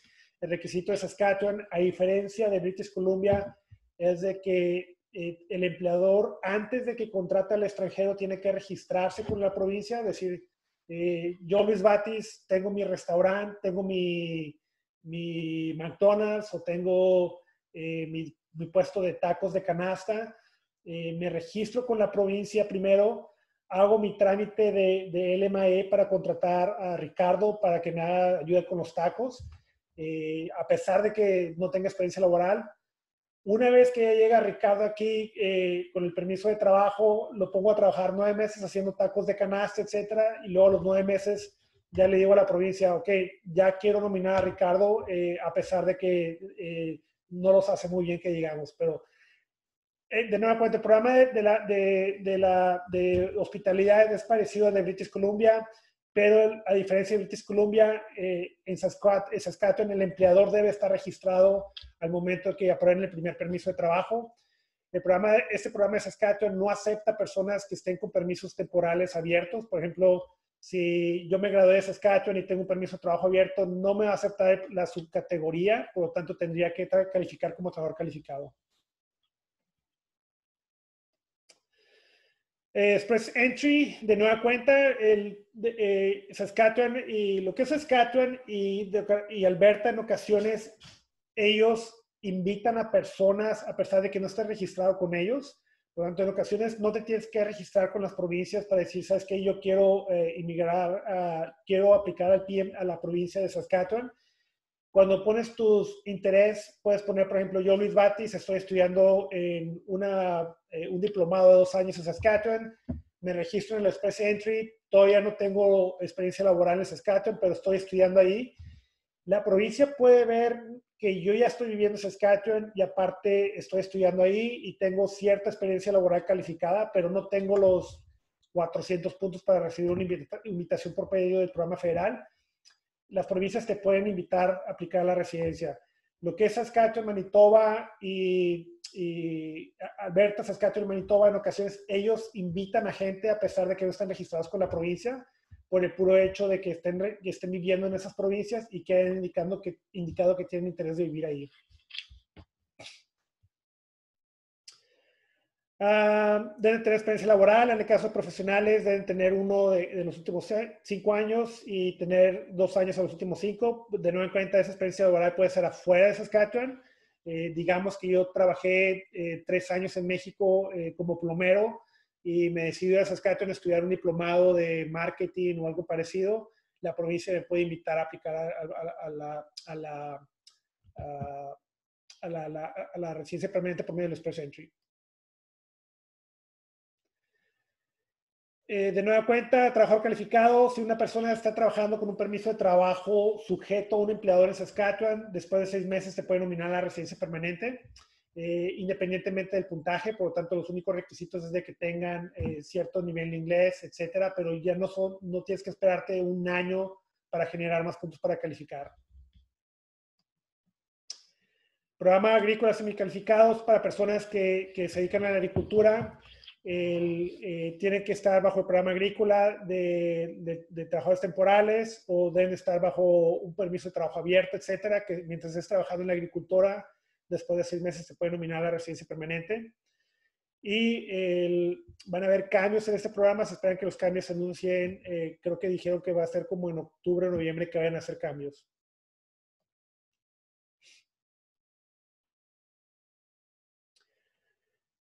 el profesional de la salud es parecido, de nueva cuenta, trabajar seis meses como doctor, enfermera o en algo relacionado a medicina. Y el programa de especialidad estaba incorrecto, eran seis meses en lugar de, nuevo, de nueve, perdón. De nueva cuenta, si trabajas seis meses eh, con un empleador que esté registrado con la provincia, te puede nominar a residencia permanente. Uh, igual que la provincia de BC, tienen el programa de, de personas que trabajan, que manejan camiones de, de, larga distancia, es manejar, es tener un permiso de trabajo sujeto a ese empleador y haber trabajado seis meses. El, estudiantes graduados, de nueva cuenta, eh, puedes tener, haberte graduado en una provincia y eh, eh, irte a registrar con un empleador que esté registrado en Saskatchewan y, trabajar nada más los eh, seis meses para un empleador en Saskatchewan. Y el programa de personas que han terminado estudios es parecido al International Graduate de BC. De cuenta, estudias, te dan el permiso de trabajo y luego trabajas en Saskatchewan seis meses. Eh, en algo relacionado a los estudios, puedes aplicar por medio del, del, PMP. A diferencia de la provincia de BC, por ejemplo, en el, en el programa de BC, no tienes que trabajar seis meses, el puro hecho de, tener la oferta de trabajo al graduarte te, permite aplicar a la provincia de British Columbia. Empresarios agrícolas, de nueva cuenta, es igual que es Manitoba, 500 mil dólares y tener tu propia eh, tu granja y haber hecho un viaje exploratorio en los últimos, eh, eh, un viaje exploratorio de 10 días. O sea, tienes que estar en Saskatchewan visitando 10 días o dos semanas de preferencia y ya con eso ya puedes demostrar que, que realmente tienes interés para establecer tu granja. El menores de 40 años que tengan experiencia manejando granjas es una inversión de 300 mil. Tienes que, en todos los casos que requieras inversiones de Canadá, ya sea British Columbia, Manitoba, Quebec, etcétera, en todos los programas migratorios tienes que demostrar la procedencia del dinero. Eh, no puedes argumentar que de repente aparecieron 500 mil dólares en tu cuenta bancaria, o sea, tienes que demostrar la procedencia de los fondos. Si inmigración tiene eh, problemas de cómo generaste esos bienes, eh, te pueden negar la, nominación porque lo que menos que quiere la provincia es fomentar el lavado de dinero. Por lo tanto, en todos los casos provinciales siempre van a pedir la que demuestres la procedencia de los fondos para que de esa manera puedas argumentar que tienes los fondos. En los casos que he llevado a empresarios, en, ocasiones tengo problemas porque los empresarios son muy eficientes fiscalmente, que en papel son pobres, pero en, bienes son ricos. Por lo tanto, es, en ocasiones es difícil con empresarios de decirles, oye, tengo que demostrar con declaraciones de impuestos cuáles fueron tus utilidades, cómo generaste ese dinero, porque no puedo llegar a la provincia y decir, ¿sabes qué? Toma, aquí están 500 mil dólares que generé eh, en, dos semanas o tres semanas o en los últimos siete, ocho meses. Todo se tiene que demostrar con declaraciones de impuestos, eh, en ocasiones con estados financieros de contadores. Y algunos programas, por ejemplo, el programa de la provincia de British Columbia, incluso te piden que una auditoría por un despacho internacional eh, que avale la procedencia de los fondos que sean generados de manera legítima. Yukon. ¿okay? Este programa literalmente se lo recomiendo a muchos, hay mucho cliente que viene de España y que no tiene estudios, que nada más tiene experiencia laboral en oficios, etcétera, y literalmente tengo ahorita como unos 5 a 8 clientes españoles que están allá, debido a que eh, no tienen mucho nivel de inglés, por lo tanto no van a calificar por medio de la provincia. Segundo es, no tienen mucho nivel de educación, por lo tanto de nueva cuenta por la provincia de BC o, o otras provincias no van a tener suficiente puntaje.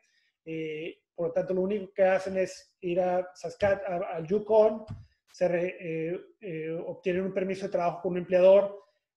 a pesar de que está muy cercano a British Columbia, los tiempos de procesamiento para empleadores que quieran contratar a gente en el Yukon son más rápidos que, aplicar para BC o Alberta o otros, otras provincias.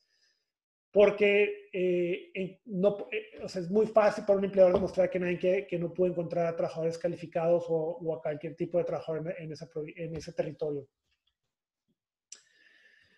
El, se puede aplicar eh, por medio del Express Entry, eh, este programa de trabajadores calificados, el impacto crítico y pro, programa de comunidad de Yukon.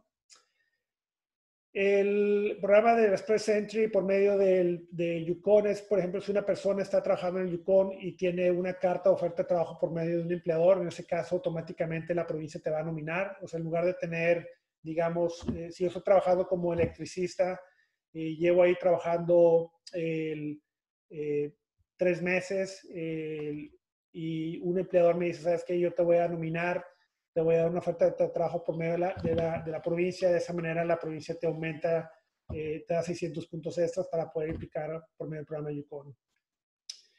De nueva cuenta, para aplicar bajo este programa tienes que calificar bajo el programa de trabajadores calificados eh, que, habamos, que vimos en la primera sesión, debes de tener los requisitos mínimos para tener tu perfil en, en la base de datos y de esa manera con oferta de trabajo por medio de un empleador de Yukon, la provincia te va a nominar.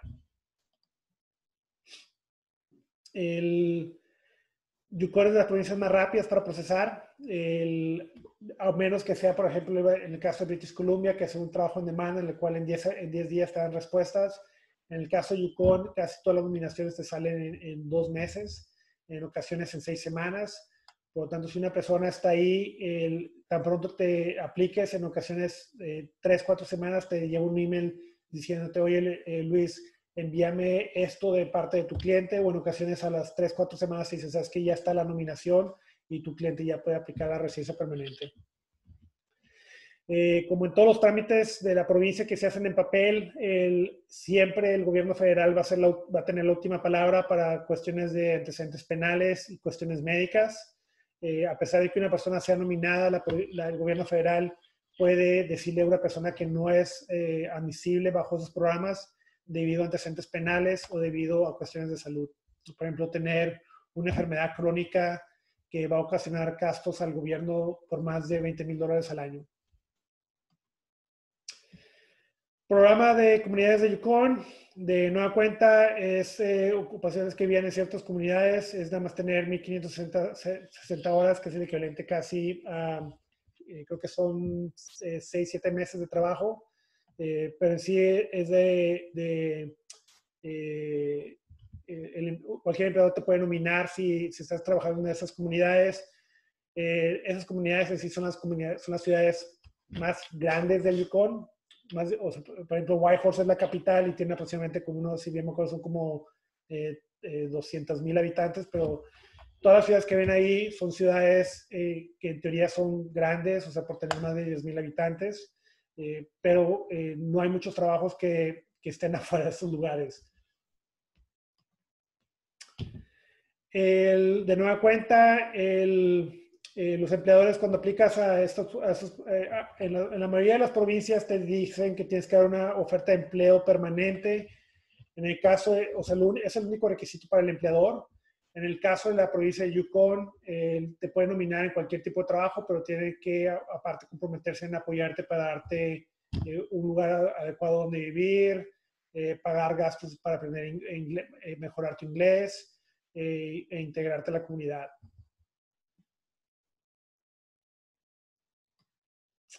Emigrar a Quebec.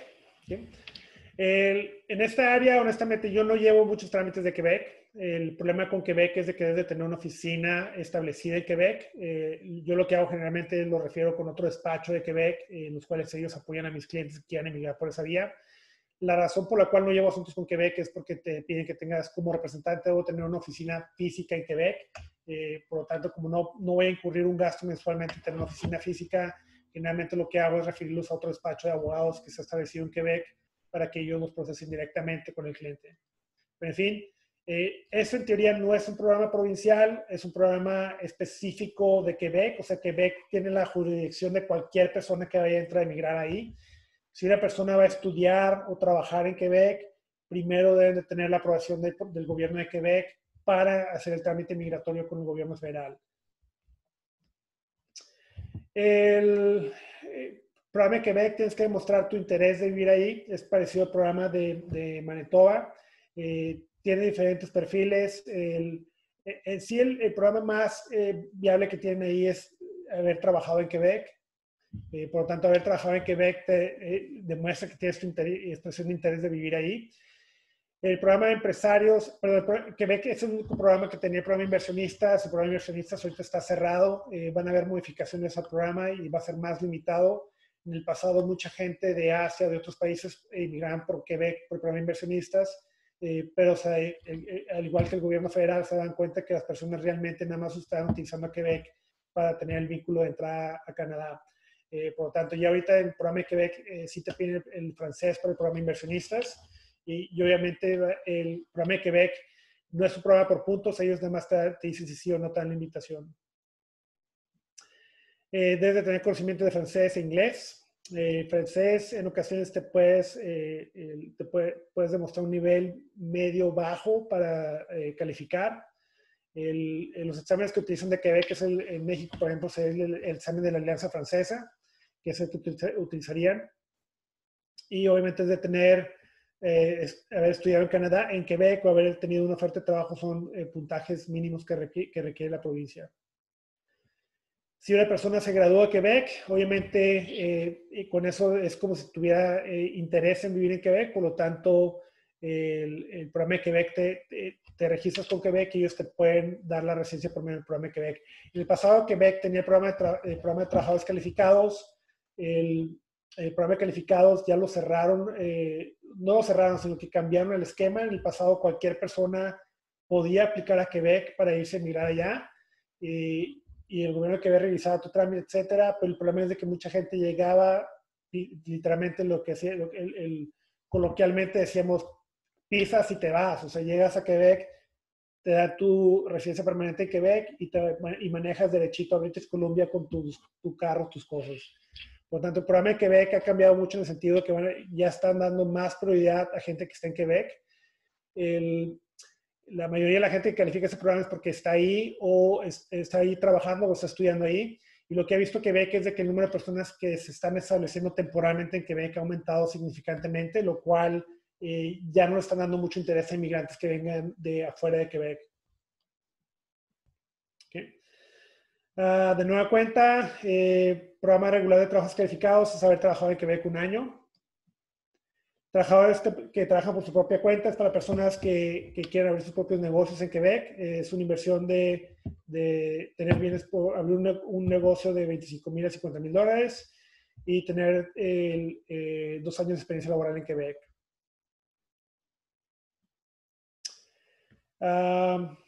Programa de trabajadores temporales, de nueva cuenta, el programa de Quebec te puede eh, nominar si un empleador te está apoyando En estos casos, por ejemplo, un empleador puede decir, ¿sabes qué? Yo necesito un abogado mexicano, voy a contratar a Luis Batis, eh, me da mi permiso de trabajo, etcétera, y el empleador puede eh, decirle a la provincia que están interesados en apoyarme en la residencia. Es, es, como si fuera una nominación en la cual el empleador está apoyando para que sea la residencia permanente de la persona. Para Ontario, el programa de Ontario es muy parecido al de BC. El programa de Ontario tiene el programa de trabajadores con oferta laboral, es para personas que han estado ahí, por ejemplo, en, de nueva cuenta en agricultura, construcción, manejo de camiones de carga y niñeras. Es, por ejemplo, para personas eh, que no tienen mucha experiencia en trabajos calificados o, que no tienen nivel de estudios, pero tienen eh, mínimo eh, nueve meses trabajando en estas ocupaciones. Tienen que tener un nivel inglés 4, el nivel de CLB 4 es un nivel muy bajo el, eh, una persona que tiene ese nivel literalmente es una persona que termina la secundaria eh, en, en, México, por ejemplo. Eh, es un nivel, obviamente que el inglés se lo vayan en la secundaria, pero es un nivel bajo, el, 4, que generalmente para aplicar a un, programa federal, como lo había mencionado, para tener un puntaje alto, desde tener casi un nivel de CLB 7 o 9 para poder ser elegible. Igual que BC, eh, si gradúas, eh, BC, eh, Ontario no tiene programa de maestrías, pero sí tiene programa de doctorados, por lo tanto, tienes que haber terminado tu doctorado en Ontario, trabajar nueve meses y luego ya calificas. Lo más chistoso de este programa es que te dice que debes tener la preparatoria terminada, Por lo tanto, es muy raro que una universidad te acepte sin la preparatoria, al menos que sea el niño genio que literalmente se brincó la preparatoria y la secundaria y se fue a derecho a estudiar a la universidad. Es la única excepción de eh, que no aceptarían al, niño genio eh, bajo el programa de doctorados de Ontario. Capital humano importante son ocupaciones eh, que estén en demanda actualmente en Ontario. Por ejemplo, ahorita Ontario tiene mucha demanda de gerentes en finanzas, en contadores, en marketing, enfermeros, nutriólogos, y esa persona debe calificar bajo el programa de Express Entry y de esa manera la provincia de Ontario te puede jalar para, si tienes esas ocupaciones e indicas en tu trámite de residencia permanente que tienes interés de vivir ahí, eh, la provincia te puede invitar dependiendo de cuál es tu puntaje dependiendo de cuántos cupos de personas tenga para ese esquema. Trabajadores calificados de oficio, de nueva cuenta, es, parecido al programa de, trabajadores calificados de oficio federal, pero obviamente eh, desde eh, la diferencia de, de, la provincia de Ontario, el programa federal es bajo el programa federal, eh, debes de tener cierto puntaje para recibir una invitación. En el programa de, Ontario, el puro hecho de haber trabajado un año en un trabajo de oficio y tener cierto nivel de inglés te, te permite aplicar a ese programa. por ejemplo, en el programa federal, como lo habían visto, es por puntos. Puede ser que una persona tenga, digamos, 200 eh, puntos porque ya tiene el año de experiencia laboral, pero el nivel inglés lo tiene muy bajo, tiene un nivel 5. En ese caso, la, eh, Ontario puede invitar a esa persona a aplicar la residencia permanente. Empresarios, el programa de empresarios de Ontario es parecido al de BC, eh, pero la inversión es más alta. Eh, se tiene que hacer una inversión de 600 mil en el área metropolitana y 200 mil en el área que no sea metropolitana. Tener bienes de 800 mil dólares en el primer caso y 400 en el segundo. Por ejemplo, en el programa de BC te piden una inversión de 200 mil y te demostrar que tienes 600 mil en bienes y esa inversión la puedes hacer en cualquier lugar de la provincia. Puedes hacer una inversión menor si lo haces en ciertas comunidades eh, rurales y, en las cuales tengan un convenio con la provincia. Y a diferencia de, de BC, el programa de Ontario nada más te pide un requisito de dos empleados. El programa de BC te pide hasta tres empleados por, eh, por argumento de hacer tu inversión. New Brunswick, eh, de nueva cuenta, como les comenté al principio de la sesión de hoy, está el programa del Atlántico en el cual si un, empleador eh, te registras bajo el programa de Express Entry y un empleador te puede invitar por medio del programa de Express Entry, de esa manera no tienes que haber vivido ahí, pero tienes que haber indicado que tienes interés en vivir en esas provincias. Eh, bajo el programa piloto federal, las provincias tienen cuotas para invitar a personas, pero el requisito es que tengan, tengan la oferta laboral de un empleador canadiense. Pero de nueva cuenta, como cada provincia, ellos tienen sus propios programas. El programa de New Brunswick, el programa principal es el Express Entry. El trabajadores incluye personas que no estén calificadas. por ejemplo, puedes aplicar, eh, eh, la primera opción es Express Entry, que la provincia te puede invitar por el puro hecho de, demostrar tu interés de vivir ahí. Y el segundo es de trabajos calificados, que incluye personas que no tienen experiencia laboral en una posición calificada. Por lo tanto, yo puedo haber estado trabajando en New Brunswick por eh, un año en un trabajo que no requiere experiencia laboral. Por ejemplo, en el caso de, de Saskatchewan, había dicho que tienes que trabajar seis meses haciendo tacos como ayudante de cocina en este caso, igual de Saskatchewan, puedes hacer lo mismo, puedes eh, eh, tener la oferta de trabajo de un empleador y recibir la nominación. Empresarios es 250 mil dólares de inversión. Eh, no te pide New Brunswick demostrar los, los, los, bienes netos. Por ejemplo, en el caso de Ontario, tienes que mostrar 600 mil y hacer una inversión de 200. En el caso de, de, de New Brunswick, nada más te pide demostrar la procedencia de los 250 mil dólares. Graduados y empresarios, eh, es parecido, creo que mencioné ese programa de Manitoba, en el cual eh, te gradúas y abres tu propio negocio. A diferencia de Manitoba, Manitoba tiene un cupo de 20, en el, área de New Brunswick no tienen un cupo de cuántas personas van a aceptar. Prince Edward Island. Tienen empleos críticos, o sea, cualquier trabajo, eh, en cualquier ocupación y tener el apoyo de un empleador te puede nominar los requisitos eh, mínimos que piden es haber trabajado ahí un mínimo un año y, eh, y de nueva cuenta puede ser en cualquier ocupación. empresarios, eh, no hay un límite, no, no, hay un requisito mínimo de dinero. Mientras el negocio sea factible, eh, te pueden aceptar. Por ejemplo, si tienes un negocio, digamos, sabes que yo voy a invertir 75 mil dólares eh, en este negocio y la provincia ve que es factible, te pueden dar la nominación. Nueva Scotia eh, tiene ocupaciones en demanda. De nueva cuenta, este programa cambia de lado de tiempo en tiempo. Ahorita está dando más prioridad a, enfermeras y tener una oferta de trabajo. Empresarios es una inversión de 150 mil dólares. Este programa de trabajadores eh, que es eh, no calificados, o sea, si trabajas seis meses en, en, en Nueva Escocia, en cualquier tipo de trabajo, el empleador te puede nominar.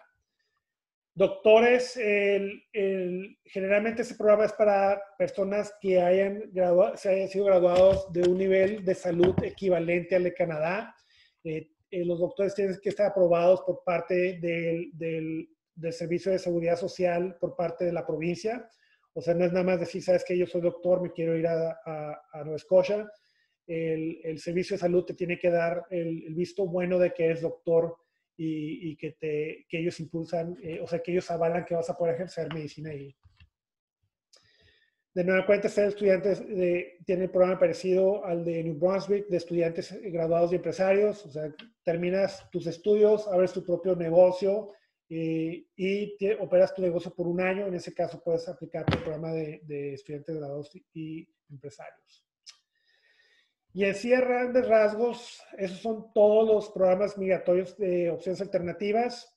Eh, creí que me iba a tardar más tiempo. Tenía planeado eh, mostrarles las páginas de cada programa, pero eh, en sí, de nueva cuenta, los programas son muy similares de todas las provincias. El, de nueva cuenta, entre, entre más, uh, le entre más, menos poblada y entre más frío hagan una provincia, los programas de migración son más factibles para personas que no tengan mucha experiencia laboral o para personas que no tengan el puntaje necesario para emigrar por medio de, una provincia como es Ontario, British Columbia o Quebec. Eh, si una persona, por ejemplo, me dice, oye, no tengo experiencia laboral, eh, pero eh, no puedo conseguir una oferta en Saskatchewan o Nueva Scotia o en Prince Edward Island, obviamente en ese caso les impulso más a buscar trabajo en, en Yukon porque eh, hay mucha demanda laboral, pero no hay mano de obra. Por lo tanto, es muy probable que uno como, uno, como extranjero le diga a un empleador, mira, yo soy mexicano, eh, he estado en el Nevado de Toluca eh, dos semanas enteras, por lo tanto ya me acostumbré al frío y me quiero ir a migrar para allá, dame la oferta de trabajo. Y es probable que un empleador diga, sabes que esta persona lo voy a, voy a ver si puede realmente establecerse aquí. Por lo tanto, personas que no tienen experiencia laboral, programa de Yukon, eh, si es un trabajo de hospitalidad, eh, o, eh, o, turismo, recomiendo Saskatchewan. Y también recomiendo las, las provincias del Atlántico. En, por experiencia personal, ahorita tengo varios clientes en New Brunswick y tengo clientes en Nueva Escocia. un cliente, de hecho, acaba de terminar ahorita su maestría, hizo una maestría en New Brunswick y literalmente ya está trabajando como gerente regional en Walmart.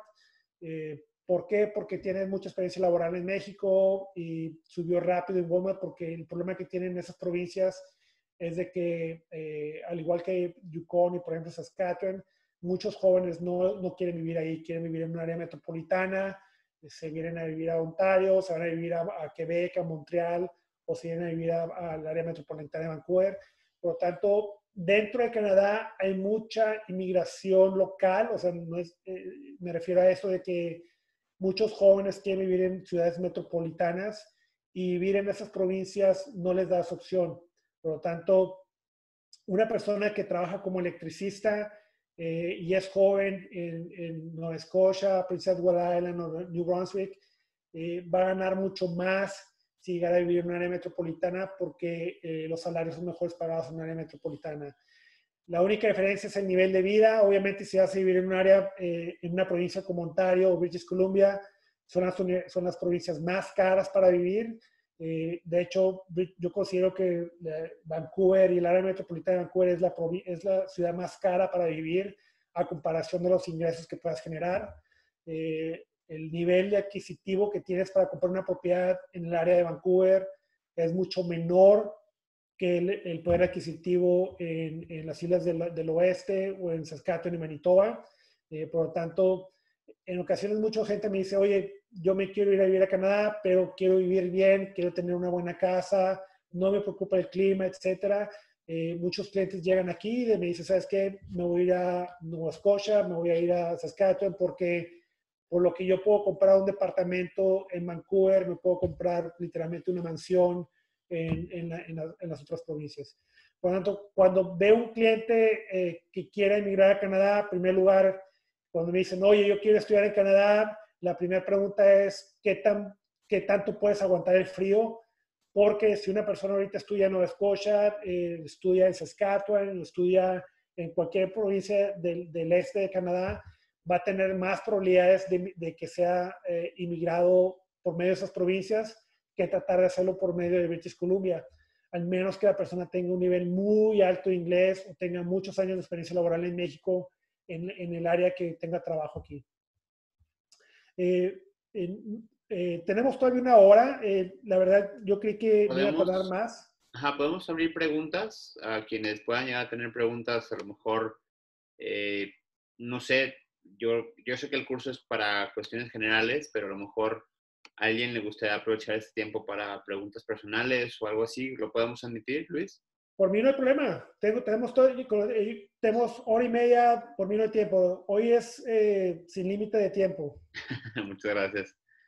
Pues no sé, este, Diego, Gaby, Ale, Manuel, yo por ahí platiqué, este, Monse también, platiqué con alguno de ustedes y tenía dudas respecto a, por ejemplo, cuál era la mejor estrategia para, para irse. Este, seguramente tú, tú has de conocer como esos hacks, ¿no? De, de, de, qué es como lo más, más seguro, o a lo mejor sin una inversión tan alta, eh, a qué puedes aplicar, porque seguramente es, son algunas de las cosas que seguramente te preguntan mucho.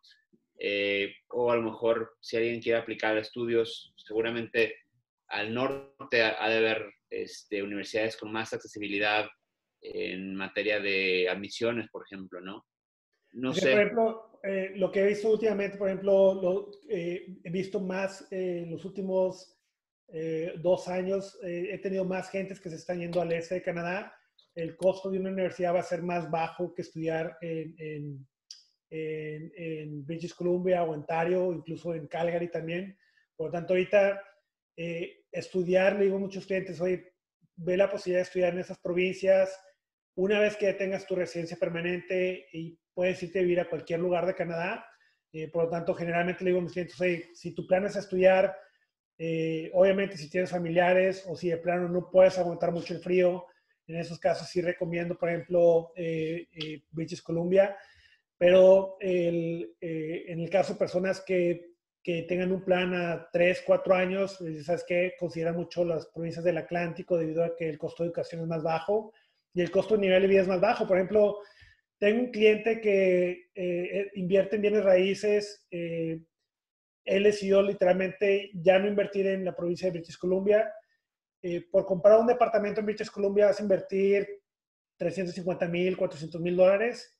Esa misma inversión en, en, Nueva Escocia se compró todo un departamento, un edificio, se compró un edificio de 12 unidades. Por lo tanto, me dice mi cliente, oye, en lugar de estar manejando uno o dos departamentos en British Columbia, me sale más rentable comprar un edificio en New Brunswick, Nueva Escocia, rentarlo y literalmente voy dos, tres veces al año, tengo un administrador y me está generando más ingresos. Por lo tanto, nivel de vida va a ser un factor para determinar dónde va a vivir la persona. Si una persona tiene recursos, en ocasiones me dicen, oye, yo quiero irme a abrir un negocio bajo el Tratado de Libre Comercio, tengo 100 mil dólares eh, y me dicen, oye, pero quiero irme a Vancouver porque es más, más, más caliente el clima en ocasiones le digo al cliente, sabes que en lugar de invertir en un negocio, te conviene más estudiar en esta provincia porque los costos de renta, eh, salarios que tienes de pagar, etcétera, eh, probablemente no vayas a calificar después a otro programa migratorio. Por lo tanto, primero que pregunto al cliente es, empezando desde la, primera clase, es cuál es tu edad, eh, cuántos fondos tienes y si puedes conseguir una oferta de trabajo, etcétera, si quieres invertir. Ya dependiendo de eso, si de plano estudios en la vía, eh, ahorita sí recomiendo más un poco las provincias del Atlántico Eh, pero obviamente tengo que decir, es que yo, yo fui a Vancouver, me enamoré de ahí y quiero inmigrar. Pues, obviamente eh, el plan de inmigración sería diferente. Ya. Este, nomás antes de pasar a la siguiente pregunta, este, creo que es un paréntesis cultural que me han platicado mucho, pero es cierto que a finales de, ¿cuándo fue? A finales de los 90 o de los 2000, se, hubo mucha plusvalía en Vancouver por toda la fuga de capital de Hong Kong. O sea, cuando, cuando se cerró un poquito para los chinos, que de alguna forma Hong Kong regresaba a, a ser parte de China, la reina dio, dio facilidades sobre todo a los empresarios, ¿no? A, a migrar y por eso es que Vancouver tiene mucha, pues hay, muchísima gente asiática, ¿no? Entiendo.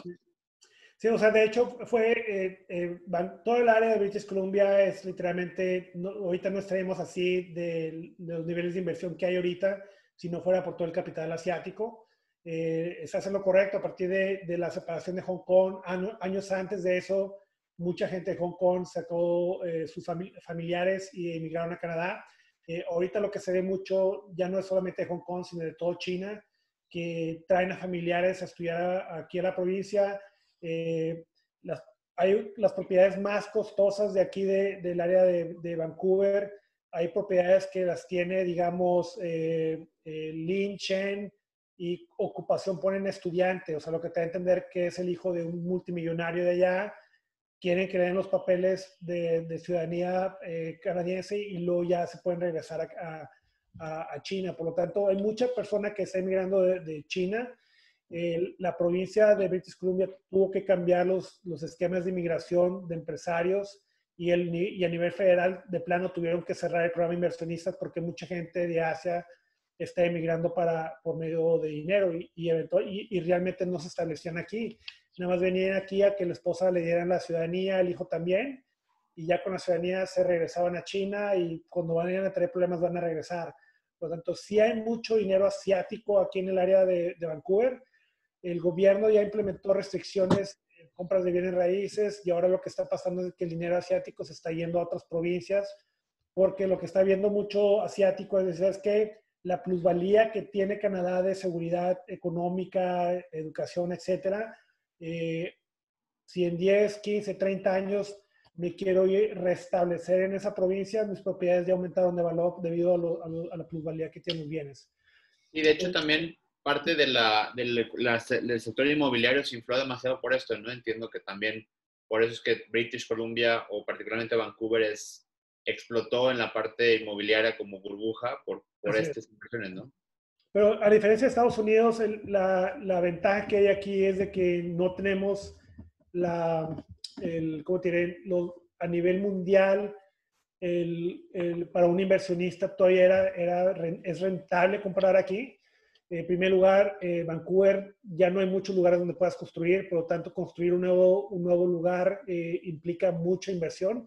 Yo lo que decía, el nivel de vida, o sea, si quieres vivir en Vancouver, tu costo de vida va a ser más alto porque no hay, eh, eh, el costo de renta de una propiedad va a ser más alto, el costo de adquisición de una propiedad va a ser más alto. Y, todo eso es debido a, la inversión económica que ha pasado últimamente en los últimos 10 eh, años. voy a dar voz a, no sé si Manny quieras abrir tu micrófono o quieres que lea tu pregunta.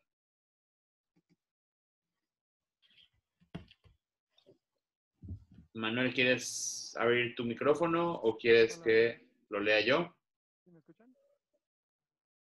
Bueno. Ah, bueno, eh, creo que aquí hay la pregunta, la de soy soltero de 28 años, eh, médico especialista en, anestesia con IELTS 5.5.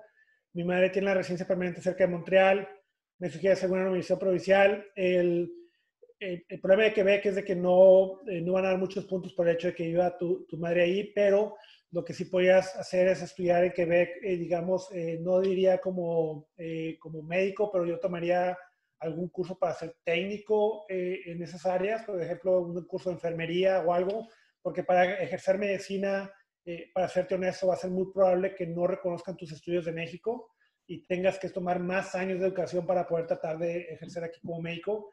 Eh, ahorita tengo el caso de una persona que es igual, tiene 29 eh, años, es médico en la Ciudad de México y él la vía que está tomando es cambiar su giro de, en lugar de ser médico, se va a dedicar a, eh, va a ser especialista en cuidados de personas de mayor edad, lo cual ahorita está mucho, en mucha demanda debido al COVID. Por tanto, tratar de ejercer de medicina eh, como médico, las vías que veo generalmente es o tienes el apoyo de una universidad para ser investigador o de plano cambiar eh, un poco tu giro en lugar de ser médico, ser técnico en, en anestesiólogo, en, eh, por ejemplo, anestesiólogo o algo así. O sea, no ser como doctor, sino que ser como un técnico especialista eh, en una ocupación técnica, por ejemplo, técnico en radiología, técnico en enfermería, etcétera. estudiar un curso de eso es lo que te, podría dar más facilidad de, de, emigrar. Obviamente, en los casos de, de Nueva Escocia están dando muchas prioridades en enfermería, por lo tanto, puedes estudiar un curso de enfermería, luego aplicar un permiso de trabajo y por medio del programa de los coches eh, podrías hacerlo un poco más rápido que tratar de hacerlo por medio de Quebec.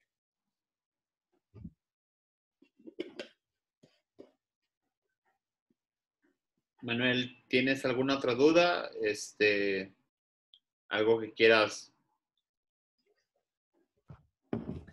Ahora, lo más seguro y ya voy a entrar un poco para no aburrirlos, o sea, para poner un poco más de alegría a eso. Lo más seguro es ligarte a una canadiense. Eso fue lo que yo hice. Mi intención no era emigrar a Canadá. Yo conocí a mi esposa en México y mi intención no era venirme aquí. De hecho, habíamos platicado de quedarnos en México o irnos a Estados Unidos, etcétera. Pero e, esa puede ser la, una de las vías más seguras.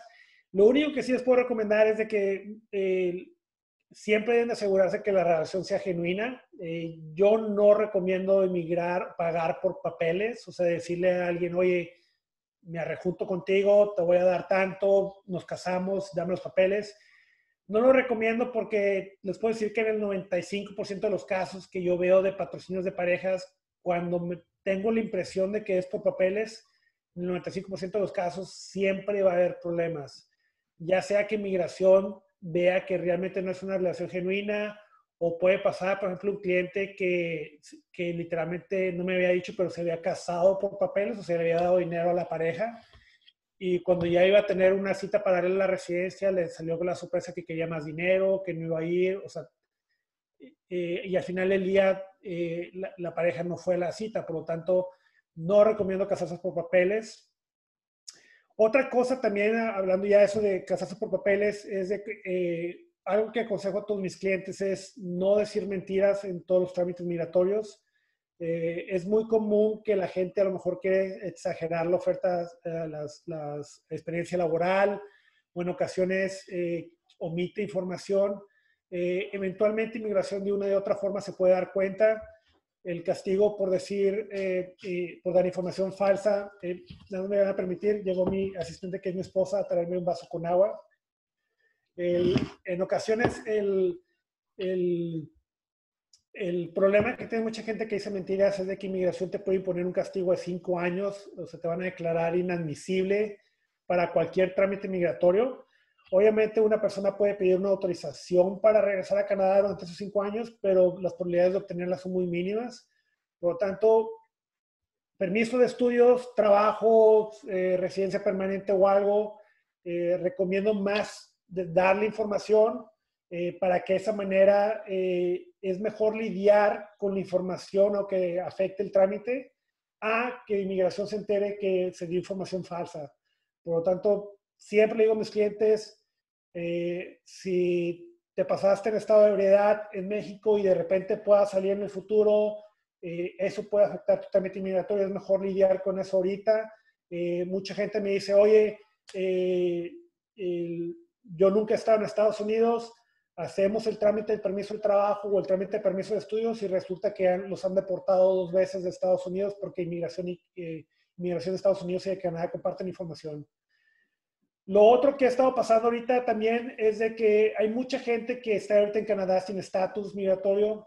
Eh, no lo recomiendo ya, en el pasado no había problemas porque literalmente te subías al avión, salías y nadie se enteraba que estás aquí sin estatus.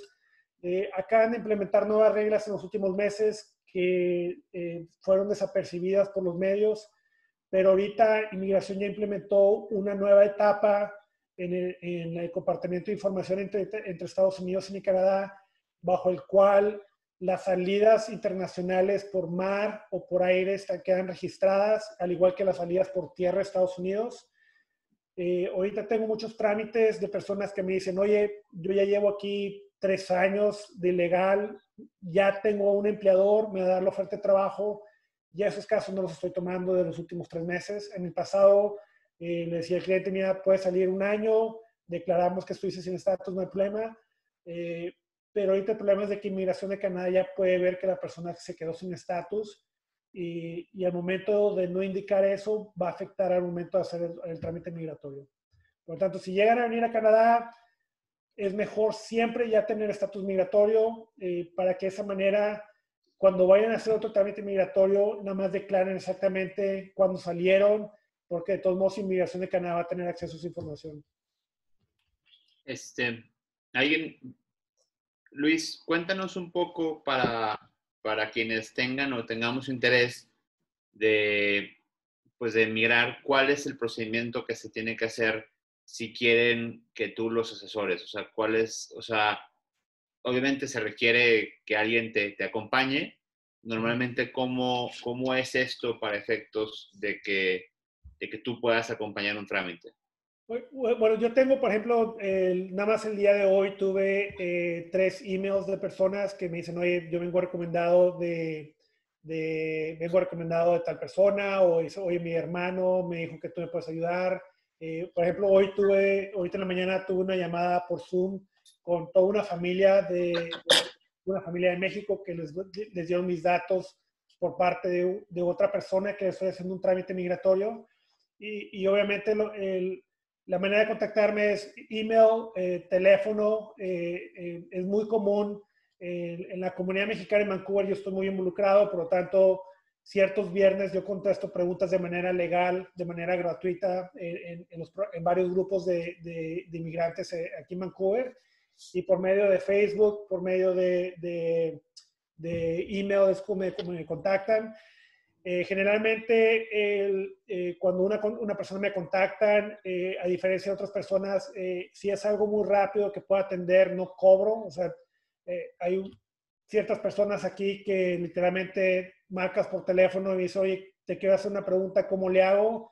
Lo primero es el 20, ok, dame 150, 300 dólares y, y te voy a atender tu llamada. Yo lo hago diferente, ¿por qué? Porque eh, en primer lugar, eh, si es algo muy rápido, o sea, eh, en ocasión la primera pregunta que hago a la gente es, oye, ¿cuál es tu edad? Porque de esa manera ya sé que a lo mejor no califican por el Express Entry. por lo tanto, la manera más viable que hago yo es dar una información general a las personas. tengo, por ejemplo, yo información que tengo en mis archivos de de literalmente paso a paso qué es lo que debe hacer una persona para, para ver si califica bajo Express Entry. Por lo tanto, lo que hace es, les envío el email con la información en general. En ocasiones me dicen, oye, ¿cómo le hago? Y ellos es que tienes que estudiar, los refiero a ciertas personas que los pueden canalizar para encontrar una escuela. Y una vez que ya tengan la carta de aceptación, ya hago los trámites. Eh, con relación a costos, por ejemplo, eh, un trámite de permiso de estudios cobro 600 dólares eh, por, por, por, hacer todos los trámites, más derechos migratorios. Eh, trámites de residencia permanente eh, por medio del Express Entry cobro 3 mil dólares y ya a partir de más derechos migratorios. Trámites de nominaciones cobro más porque es un trámite con inmigración provincial y otro trámite con inmigración federal. Eh, había una pregunta ahí en el chat de, de, de personas de la provincia de Quebec. generalmente trabajo con dos firmas. puedo mandarle el vínculo a Ricardo. Yo creo que eso vio pasado, pasado mañana o el lunes. pero sí, en ocasiones me dice, por ejemplo, tengo unos clientes, oye, yo quiero emigrar por Quebec, ya llevo aquí un año, pues, me refiero con mis contactos y ya se, encargan de, de, llevarles todo el trámite. Por lo tanto, costos, va a depender del trámite migratorio, eh, permisos temporales, generalmente son 600 dólares, extensiones ya cobro menos porque ya es un trámite que es más, ya tengo toda la información en base a los trámites anteriores. Eh, trámites de patrocinios de parejas, cobro eh, 4.500 dólares y en todos los casos, excepto permisos temporales, eh, cobro eh, conforme, voy, conforme voy dando resultados. Por ejemplo, en el caso de patrocinios de familiares, eh, cobro la mitad del principio. Si les aprueban en principio el trámite, cobro otra parte y luego la última parte cuando les dan la residencia. Y es generalmente lo mismo que hago también con otros trámites migratorios. De acuerdo. Eh, yo en alguna ocasión te pregunté acerca de algunas agencias, cuáles son las más confiables, porque también hay pues muchos charlatanes o gente que se aprovecha de la ignorancia. Eh, ¿Habría forma de que, eh, si vienes, si a lo mejor no, no, quieres hablarlo de forma abierta, primero que nada, bueno, pues comentarnos quién nos recomiendas para apoyarnos, sobre todo porque al menos me comentaste que esa parte no la haces tú, pues la de la de conseguir las universidades, pero tú trabajas más cómodo con algunas personas, entonces no sé si puedas compartirnos a quién deberíamos de buscar en primera, o sea, como para tocar base. Uh, hay mucho, he trabajado con muchos agentes, eh, de hecho acabo de romper relaciones con unos, unas personas que los conozco desde hace 10 años. Eh, ¿Por qué? Porque hubo un problema con una persona y me empezaron a decir, todos los cargos extras que le estaban haciendo a esta persona, les podrían cobrar 500 dólares por irse a recoger el aeropuerto, 100 eh, dólares por eh, hacerles eh, depósitos, o sea, hay una agencia muy grande en la Ciudad de México con la cual yo ya de plano decir que no quiero trabajar con ellos. Ahora, hay muchos fraudes en México. la única la manera más fácil de detectar un fraude de estudios es cuando te dan la carta de aceptación o si ellos te piden dinero directamente. Generalmente, eh, si una escuela te acepta, la comisión siempre se la van a dar a la gente, no se la van a dar, eh, tú no le vas a pagar a la agencia directamente, al menos que compres un programa de estudios que te, que te dé el paquete a la agencia. Digamos, una agencia eh, que se llama Estudia Canadá, en los cuales ellos ofrecen los paquetes de inglés de cursos de verano para chavos. ellos, ellos ponen el paquete, contactan a una institución y manejan todo eh, por tanto, al menos que sea un programa así, un programa así de un programa inglés para chavos, etcétera, generalmente la escuela te va a dar la, la carta de, de, aceptación o tú la vas a pagar directamente a la escuela. Eh, la otra manera, por ejemplo, estudiar en universidades, eh, ya sea públicas o privadas, obviamente una vez que el, el, agente te encuentra en la escuela, es contactar directamente a la escuela y confirmar que realmente la persona que te está dando la carta de aceptación es la, es la persona correcta porque puede ser que estén clonando el programa de estudios, etcétera. Por lo tanto, sí recomiendo generalmente tener contacto por fuera de, de la gente a la escuela. Y obviamente hay, hay varias eh, agentes con los cuales que trabajo. Hay uno que se llama uh, Estudia Canadá, de Manuel Banales y Laura López Rocha. Está eh, una persona eh, que se llama Estudia en Canadá, que se llama Marichu Romo, también trabajo con ella. está Wanderlust, que es unas personas de Monterrey y así como ellos hay una persona, Beatriz eh, Bea Gil, que es de España, que igual ella trae muchos españoles, y así como ellos hay muchos agentes. De, nueva cuenta, eh, mi recomendación siempre para evitar un fraude es checar directamente con la escuela eh, si realmente la escuela existe. ¿Cómo checar que la escuela existe? Es checar en la, en la página de inmigración si la escuela está designada como escuela eh, aprobada por inmigración. Luego lo siguiente es checar la página de la escuela para ver si realmente la persona que que firmen admisiones trabaja ahí. de esa manera se puede evitar un fraude migratorio. Lo que más veo yo, yo no veo tantos fraudes migratorios en, educación, lo que más veo son fraudes migratorios con permisos de trabajo. Eh, es muy común que en México te digan, salgan las publicaciones de que eh, ofertas de trabajo para Canadá disponibles, aplica ya y te quieran cobrar legalmente en todas las provincias está prohibido que un empleador cobre para darte un trabajo y también está prohibido que tú le pagues a alguien para trabajar en Canadá. Eh, por lo tanto, si alguien te dice, oye, yo te voy a trabajo como, eh, como consultor de negocios, pero te va a salir en 6 mil dólares, ya cuando te empiezan a cobrar generalmente es un fraude, eh, porque no me cuenta no puedes tú como trabajador extranjero pagar para obtener un permiso de trabajo. Si una persona te va a reclutar en Canadá, un empleador, generalmente el empleador va a pagar todos los gastos de reclutación. Eh, lo único que a lo mejor pagaría uno como extranjero es por hacer el trámite del permiso de trabajo, eh, pero aún así en ocasiones los reclutadores absorben incluso ese, ese costo. De acuerdo. Pues no sé si alguien tenga alguna otra duda. Eh, Luis, por favor, digo, tus datos siempre aparecen en pantalla, pero igual si quieres, este, si les puedes poner a volver a proyectar eh, para, para que todos sepan cómo y dónde contactarte.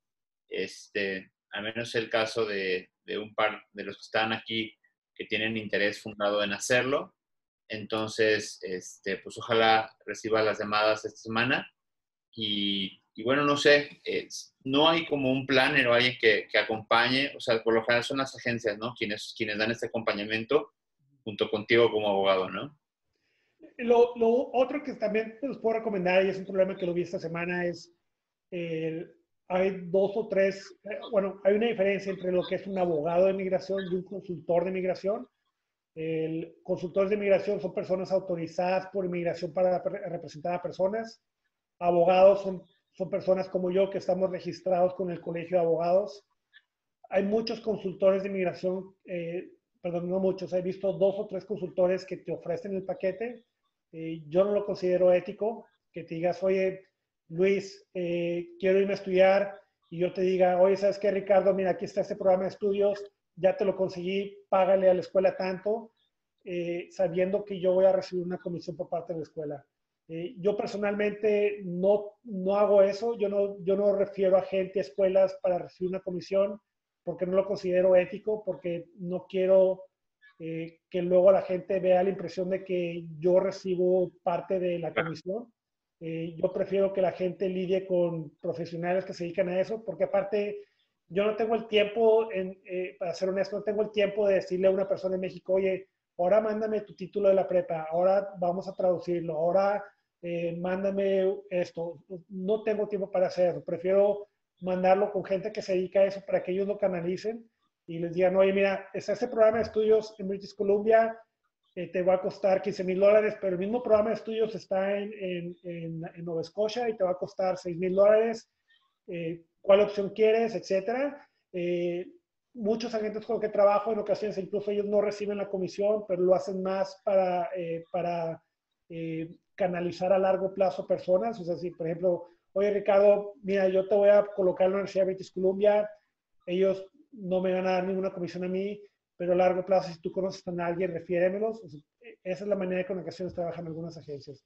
Por lo tanto, cuando, si me contratan a mí, contraten a alguien diferente. Si la recomendación de la escuela, eh, o sea, si el trámite de la escuela lo hace directamente el consultor de inmigración, eh, no se me hace muy ético hacerlo. Eh, yo recomiendo más que lo hagan directamente con el agente.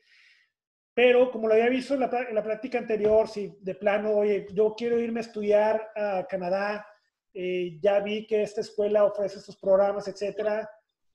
Yo lo que recomiendo a mucha gente es decirle, oye, mira, si quieres estudiar administración, eh, vete a estudiar a esta escuela, contáctalos directamente y diles que los eso está contactando directamente y ver si te pueden dar un descuento, eh, porque ese descuento generalmente es la comisión que le hubieran dado a un agente.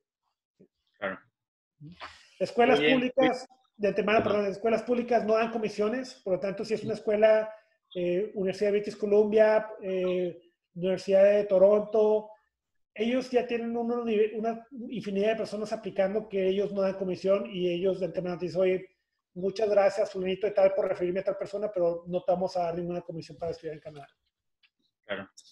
Pues si nos pudieras compartir tu lista de, de gente confiable o de gente con la que tú trabajas, creo que sería bueno para que los que estamos aquí, que tienen o que tengamos interés de, evaluar el, tema, puedan empezar a, probar o hablar con cada uno de ellos para ver qué ofrecimientos les hacen y saber que al final vamos a terminar contigo trabajando, ¿no? Que es lo, lo interesante. Así es. Y, de nuevo cuento, bueno, eh, el, el, propósito de esta plática, de nuevo, y gracias por, por haber invitado, pero el propósito era para dar información el, eh, honestamente, a mí me va muy bien como abogado aquí.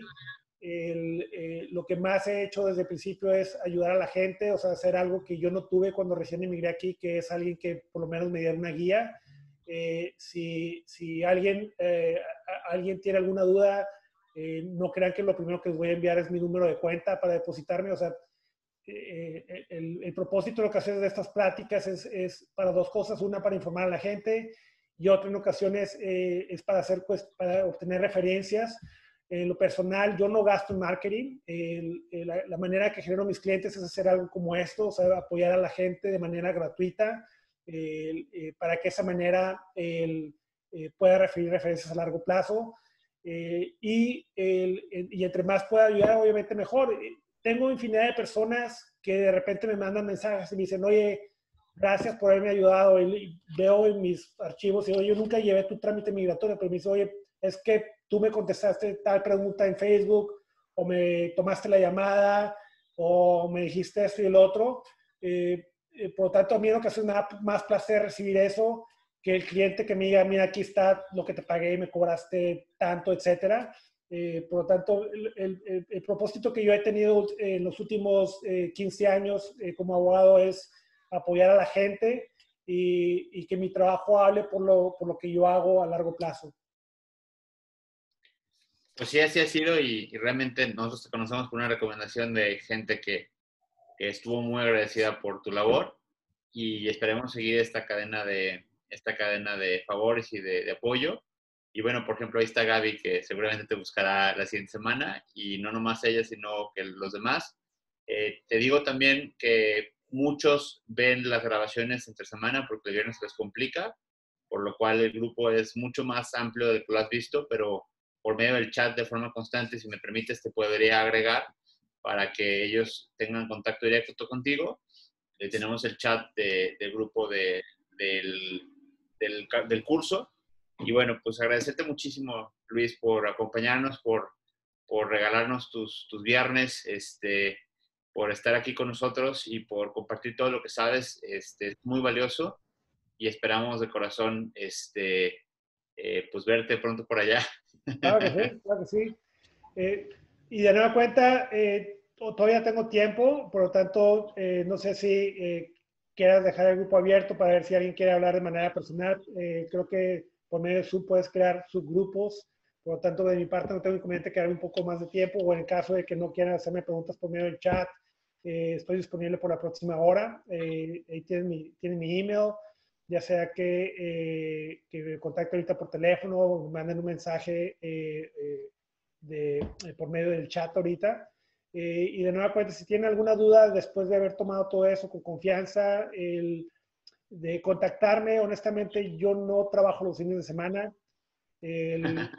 mucha gente me habla de repente sábado a las 10 de la noche y me dicen, oye Luis, tengo una pregunta, no contesto eh, o me marcan, digamos, entre semana trabajo de, de 9 a 6 de la tarde, hora de Vancouver. De repente me habla el cliente a las 12 de la noche un martes y lo primero que hago es regresarle la llamada a las 5, 4, 5 6 de la mañana para, para, ver si tiene alguna duda. Por lo tanto, eh, si tienen una duda con confianza, háganlo, eh, pero por favor háganlo durante horas de trabajo si es de llamada de teléfono. Eh, si es algo muy urgente, eh, generalmente lo que recomiendo es contactarme por email, eh, porque los emails han sido, sido checos fin de semana. y de nueva cuenta, si tienen alguna duda, lo pueden hacer. Y ojalá nos vamos a ver aquí por, en otra sesión parecida a esta, ya sea no sea de emigrar a Canadá, sino de cómo ligar a canadienses de Canadá. Algo parecido. Muchísimas gracias, Luis. Sí, en eso sabemos que tienes experiencia. sí. Bueno, pues les agradezco a ti, Luis, y a todos por estar aquí. Eh, igual como Manuel, Gaby, eh, si hace falta Ale, quien quiera que esté aquí, este, los demás, eh, cualquiera de ustedes, si tienen la intención de, de, contactar a Luis, nos da la posibilidad de que así lo hagan. Yo con mucho gusto les paso su teléfono para que lo contacten, tienen la disponibilidad, aprovechenlo, que de verdad es es un personaje este, importante en Vancouver con la comunidad y, es un lujo que, tengan esta posibilidad. Y pues como siempre, gracias Luis, gracias por todo tu apoyo. gracias a ti. Y aquí estoy todavía, eh, voy a estar, el, ah, creo que si yo me acuerdo en Zoom pueden crear, puedes crear sus grupos, por lo tanto, si alguien ahorita... no sé cómo hacerlo. No sé cómo hacerlo. no sé cómo hacerlo, nunca, nunca he sabido hacerlo, la verdad es que bueno, vamos a lo este, siguiente. Eh, no sé si podemos dejar abierto el chat por unos cinco minutos. Si alguien quiere que lo contacte ahorita, eh, nada más pongan en su contacto y yo me comunico con ustedes por teléfono. Por lo tanto, no sé si podemos dar eh, uno, un minuto más para decir en, el, chat alguien quiera poner su teléfono y yo puedo comunicar ahorita por teléfono.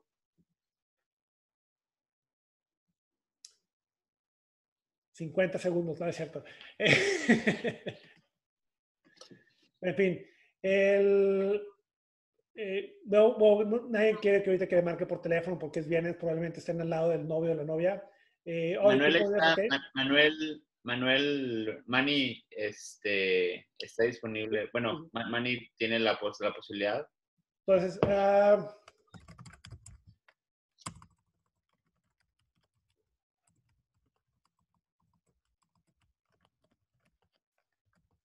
Bueno, este, déjame, ¿me permites que te agregue al grupo de, de,